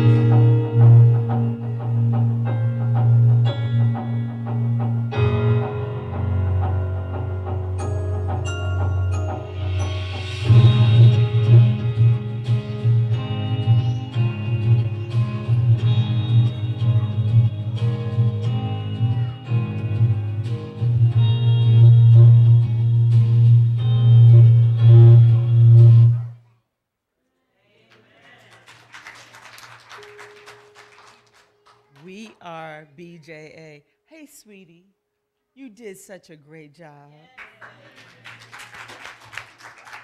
We like singing about Jesus. I like singing about Jesus too.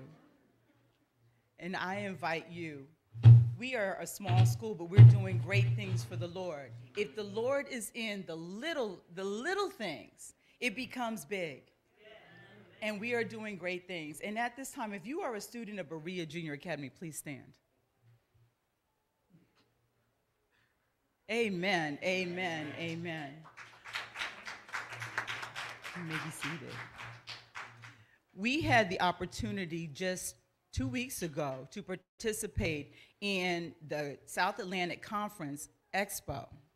Now, I'm sure you've heard a little bit of rumblings. You've had some great things happen.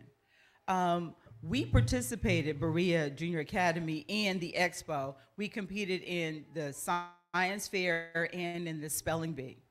Now, we had three participants in the spelling bee at the expo level. We had Javion Glasgow, please stand. Oh, yes. Jakai Glasgow, please stand. Oh, yes. And Kevon Samuels, please stand. Oh, yes.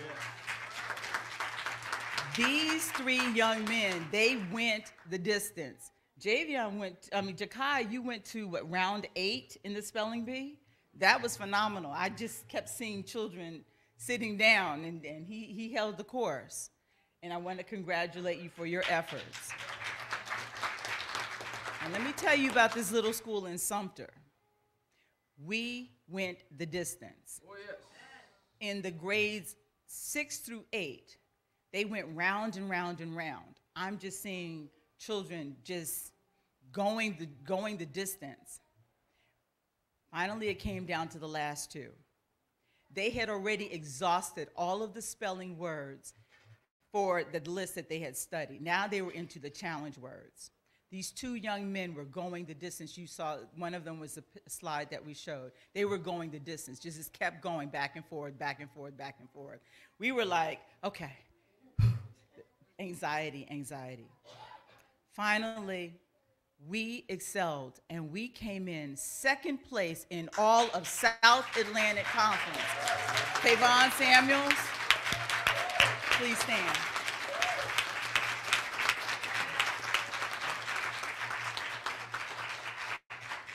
This young man endured to the end. Now, if we just had a few weeks to study and prepare for that and he was able to accomplish such greatness, can you imagine what more we have to offer at our school in Sumter? We need your support. Now, my father, and my husband and I, thank you, Kayvon, we've got more.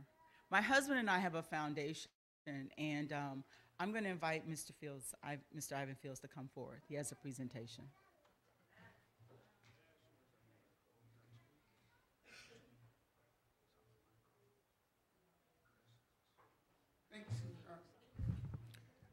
Happy Sabbath.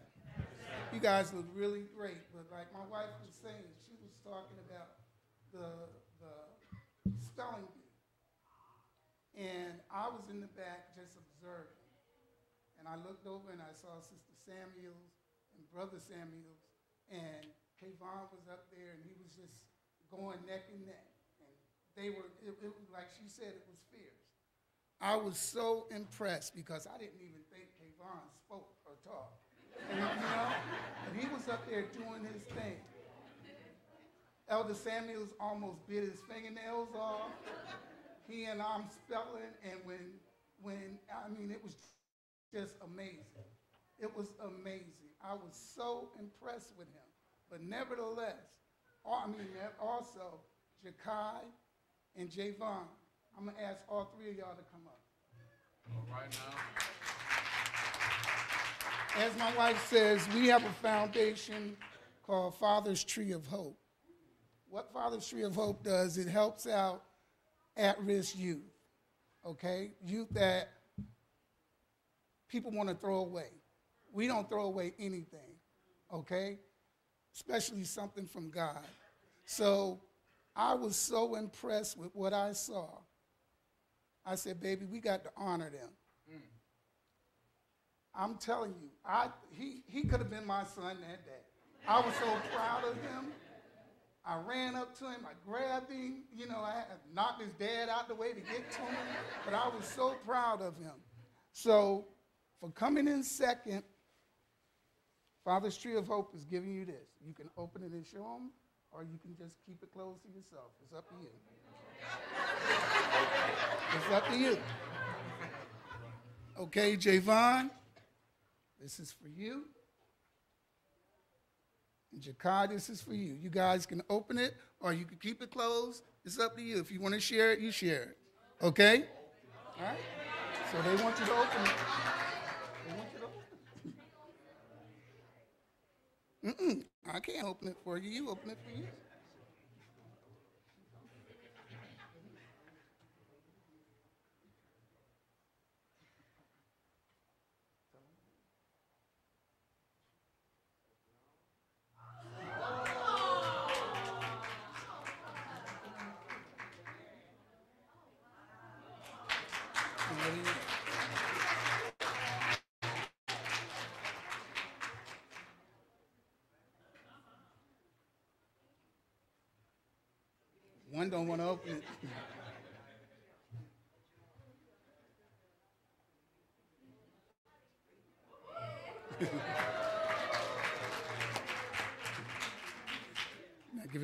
Grandmama. Don't lose it.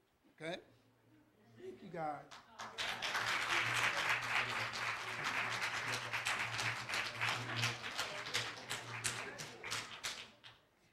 And we are asking that you continue to keep us in prayer at Berea Junior Academy. And also, if you, um, your time, your talents, and but just know that Berea Junior Academy, God is there and He's doing great things through our children. Amen.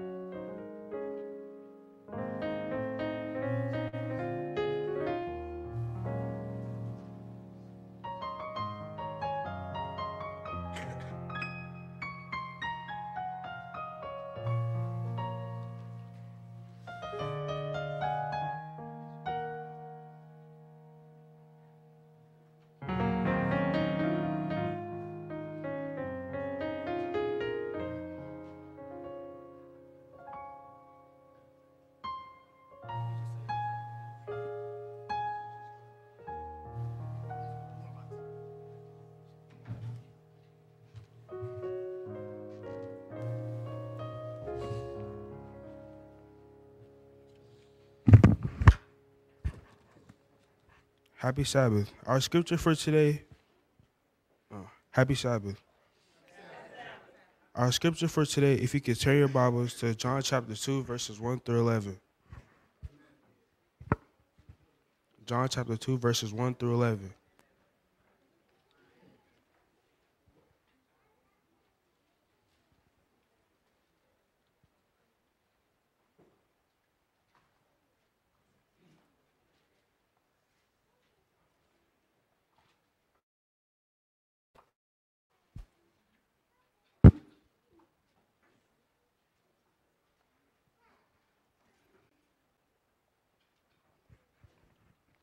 And the third day there was a marriage in, in, in Cana of Galilee, and the mother of Jesus was there. And both Jesus was called and his disciples and his, his disciples to, mar- to marriage.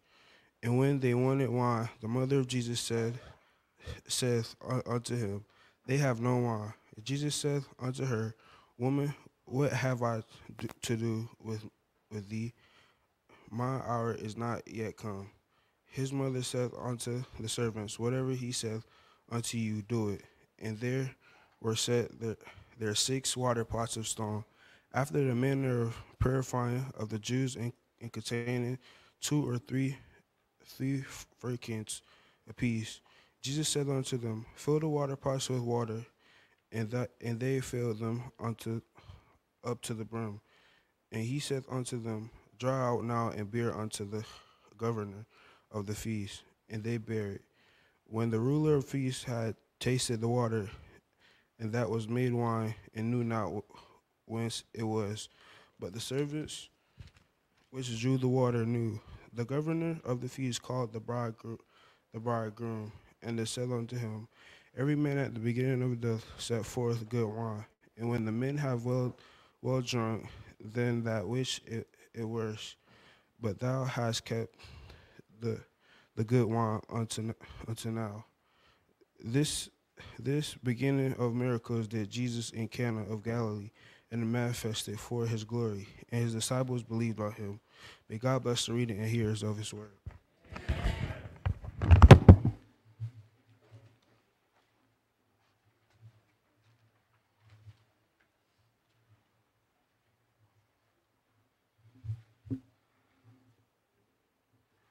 Morning, church. I bring you greetings on behalf of North Orangeburg United Methodist Church, where the Reverend J.W. Cottonhead is our pastor. My name is Latroy Johnson, and it is my indeed privilege and honor to stand before you this morning to introduce your speaker for the morning. The speaker today is one of your very own. He was born in Sumter, South Carolina. He is the child of Mrs. Beverly Hill and Johnny Peterson. He's a product of a dedicated and faithful Christian home. He was educated first in the Clarendon County school systems, where he began his, his education there and he spent five years. His mom longed for him to have a Christian background in education, so he transferred over to the school you just heard about earlier, Berea, over in Sumter. He finished there through elementary and then became a graduate of Manning High School in the great class of 2000. After attending Manning, he went on to pursue a degree of psych- uh, psychology, excuse me, from Oakwood, and then his master's degree from Tennessee State University in counseling. While in Tennessee, Marcus met a fine young lady by the name of Miss Keisha Nixon at the time, and later on became Mrs. Keisha Hill. Keisha, if you'll stand for everyone. Also, while in uh, the Nashville area, Marcus became a proud member of Omega Psi Phi Fraternity Incorporated, spring 2011. Deuce Dog, my LB. He's currently living in Jacksonville, Florida, where he's working as a working to become a licensed counselor uh, in his professional field. Brother Hill's motto is consistent of treating everyone the same, and the life is all about experiences. It gives me indeed privilege and honor after the selection from uh, the church choir to introduce to some and present to others my friend, my brother, Mr. Marcus J. Hill.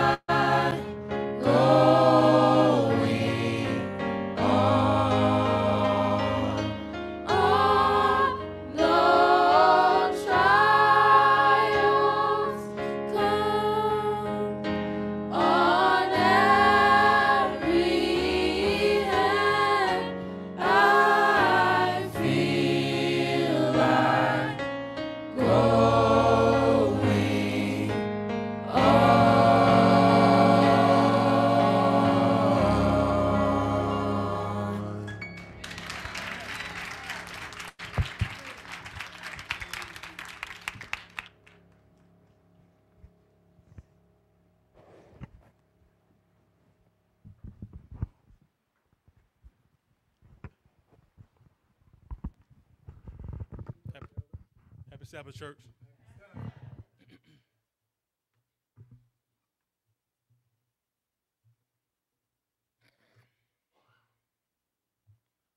Giving honor to God, who's the head of my life. I'd like to thank Pastor Gomez for allowing me this opportunity to grace his pulpit. I also like to thank Sister Nora for extending this invitation for me to speak to here to the youth here at Maranatha today. Also like to thank my family, my friends, my fraternity brothers, and my wife, Keisha, who are here and the ones who are supporting me via social media and streaming online. Thank y'all.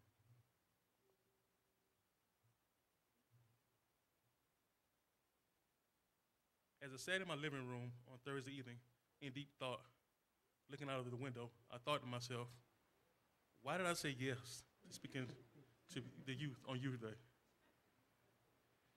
And why did I wait to the last minute to prepare this sermon? I realized I was having self doubt. In psychology, we call it the imposter syndrome. You might have heard of it. Imposter syndrome is a condition where people doubt their abilities or feel like they're a fraud or a phony. Who am I? I'm a sinner. I'm not worthy enough to speak to the the youth. I question myself. Why me? I question my why. Then I question, why not me? When working with clients from day to day, I often find myself asking the question, why are you coming to therapy? Why are you upset? Why are you depressed? Why are you sad? Why, why, why? At times, I felt like I was Inspector Gadget with all those questions, or that I was on an episode of the first 48, interrogating a, a, a, a suspect. As I started to reflect on my own life, I started questioning my why and others' why.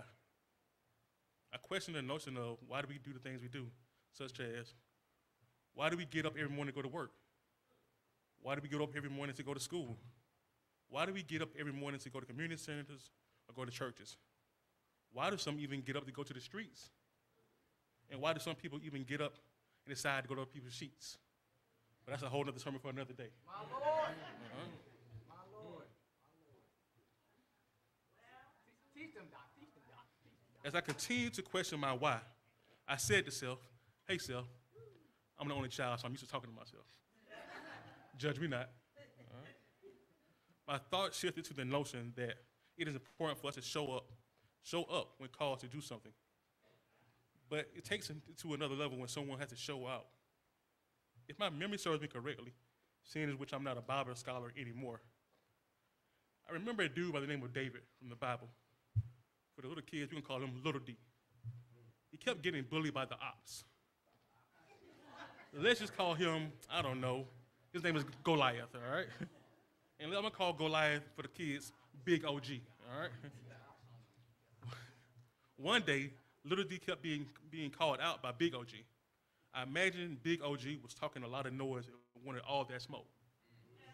Eventually, Little D got tired of Big, G, Big OG talking all, all of that trash and yelled, Cap, to Big OG. After calling Cap, Little D knew it was time to end the back and forth. And with Big OG, and like Lil Duval said, I'm living my best life. I ain't got time for you hitters. So now the stage was set for him to show out, show up, and let God show out. So after David said a little prayer to the big homie, G-O-D, the big homie, shout out to G-O-D, little D grabbed his tools and went to work on Goliath, and the rest is history.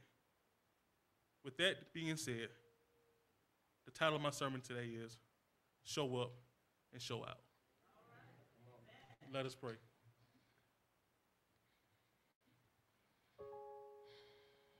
Father in heaven, I'm just a humble servant here to try to share the news about you, Lord. Lord, I'm a broken vessel that needs to be put back together, Lord. But I know that you're a clay maker, Lord. Lord, touch me and help me to speak to someone that will touch them, Lord. And help us to be a light in a shining community. In Jesus' name I pray.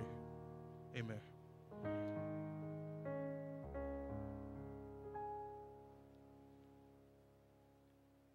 Discussing the theme of Youth Day, show up in the city, the Bible has several stories of how people showed up, but God showed out when called on, such as the three Hebrew boys. Also, Jonah in the well, and even during the resurrection. So now what I want to do is I'm going to pivot for a second. The scripture. Thank you again, young man, for reading that scripture for me. I appreciate that. So the scripture from John, chapter 2, verses 1 through 11. And it says the following, and I'm going to paraphrase. And the third day, there was a marriage in Canaan of Galilee, and the mother of Jesus was there. And both Jesus was called and his disciples to the marriage. And, the, and when they wanted, and then, and when they wanted wine, the mother of Jesus said unto him, They have no wine. Jesus said unto her, Woman, what does that have to do with me? Now I know good and well. this is a little different from me, because I would not question my mama like that. and everybody know my mom. I would not question my mom like that. He also said, Mama, it's not my time to shine or show out. His mother said unto the servants, Whosoever saith unto you, do it. And there set six water pots of stone. Jesus said unto them, Fill the water pots with water.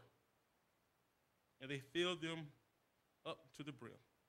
And he said unto them, Draw out now, and bear unto the governor of the feast.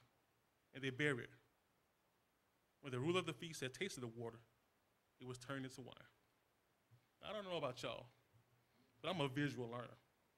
So I want to demonstrate an example how I think it looked back then.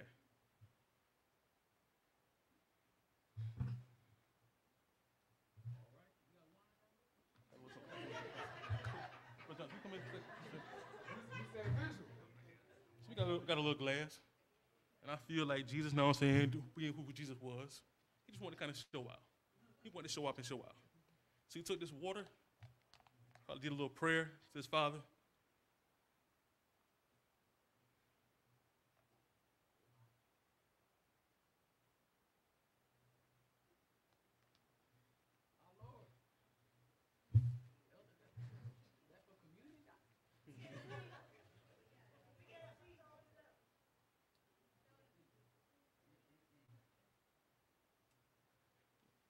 Feel like that's all it took. He turned that water into wine. Mm. Brother Johnson, you don't mind? Can you taste that wine for me? Amen, brother. Amen. Amen. Amen. Amen. Amen. Amen. Amen. Pastor, it's not really wine, Pastor. It's a little something. All right. All right. All right. All right. So basically, Jesus had to show up and show out by turning the water into wine, which the Bible calls as Jesus one of Jesus' first miracles, one of his many miracles. When looking back over my life, I think about how many times God has showed up for me, even though I did not deserve it. How many times has God shown out to you up in your lives? Sister Hill, how many times has God shown up for you in your life? Sister Johnson, how many times has God shown up and showed out for you in your life?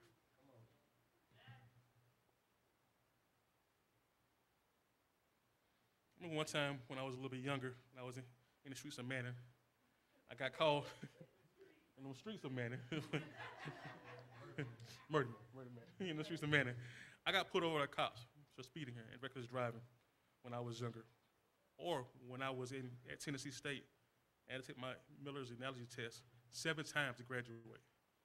Seven times just to graduate. But seven is the number of completion, as we all know. That's when God really showed up and allowed me to graduate my master's after all of those attempts.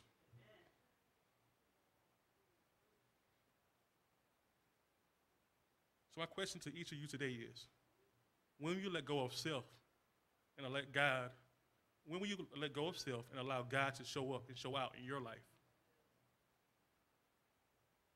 Running from, it, running from it will not save you. See it through. Let him shine in your life and watch an amazement. When you will allow him to show up and show out. Be a bright light to others so he can be seen in you. Amen. You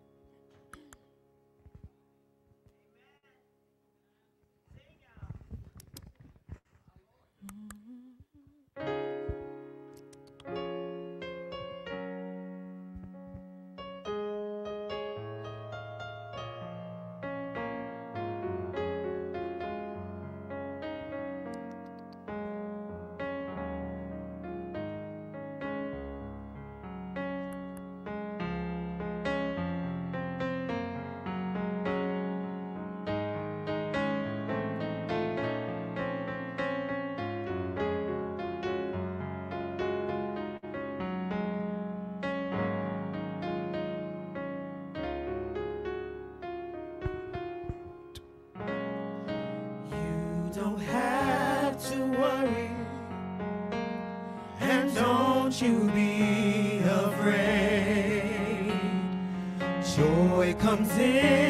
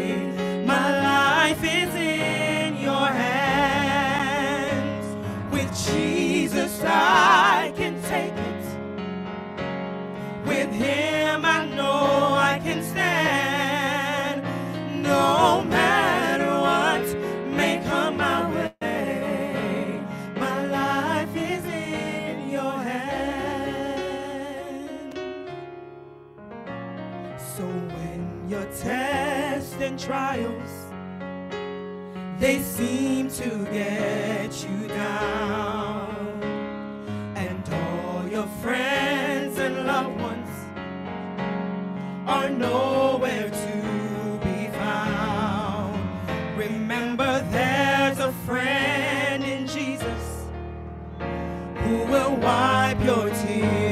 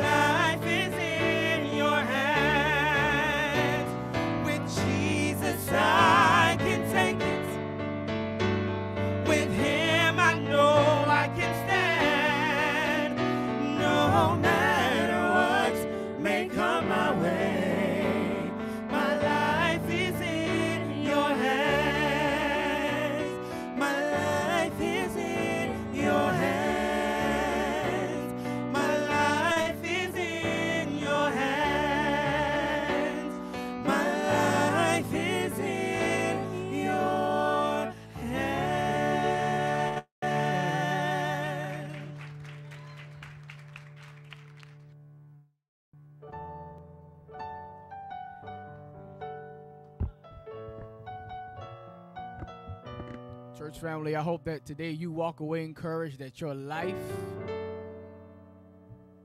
your finances, your family, your children, your health. Come on now, somebody talk back to me. Your medical bills, them student loans, y'all not talking to me. Your life is in his hands. You and I serve a God who will not only show up, he will not only show out. We serve a God who every now and then even shows off. That's the kind of God that we serve. Can we say a strong amen for the preacher of the hour? Yes. Yes. Good word, elder. Good word. Good word. You know, when, when you preach, man, you remind me of a proverb that says, Blessed are the brief.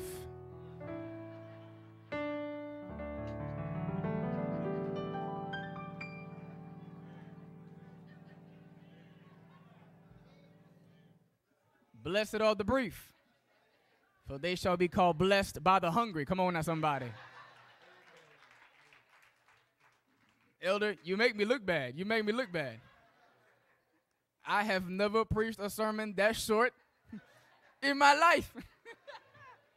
Good word, Doc. Good word. Man, we are having a high time in Zion. Listen, ladies and gentlemen, can you do me one last favor? Say a strong amen for our AYM leaders. AYM leaders, yes. Sister Nora and Sister Spain, thank you so much for you and your team, your council that always, always very intentional about Youth Day. Thank you so much. Ladies and gentlemen, we're going to have a word of prayer as the benediction and to bless the food. And then we will all uh, leave this place, go to the fellowship hall in a decent and orderly fashion that way we can all enjoy a meal together, all right?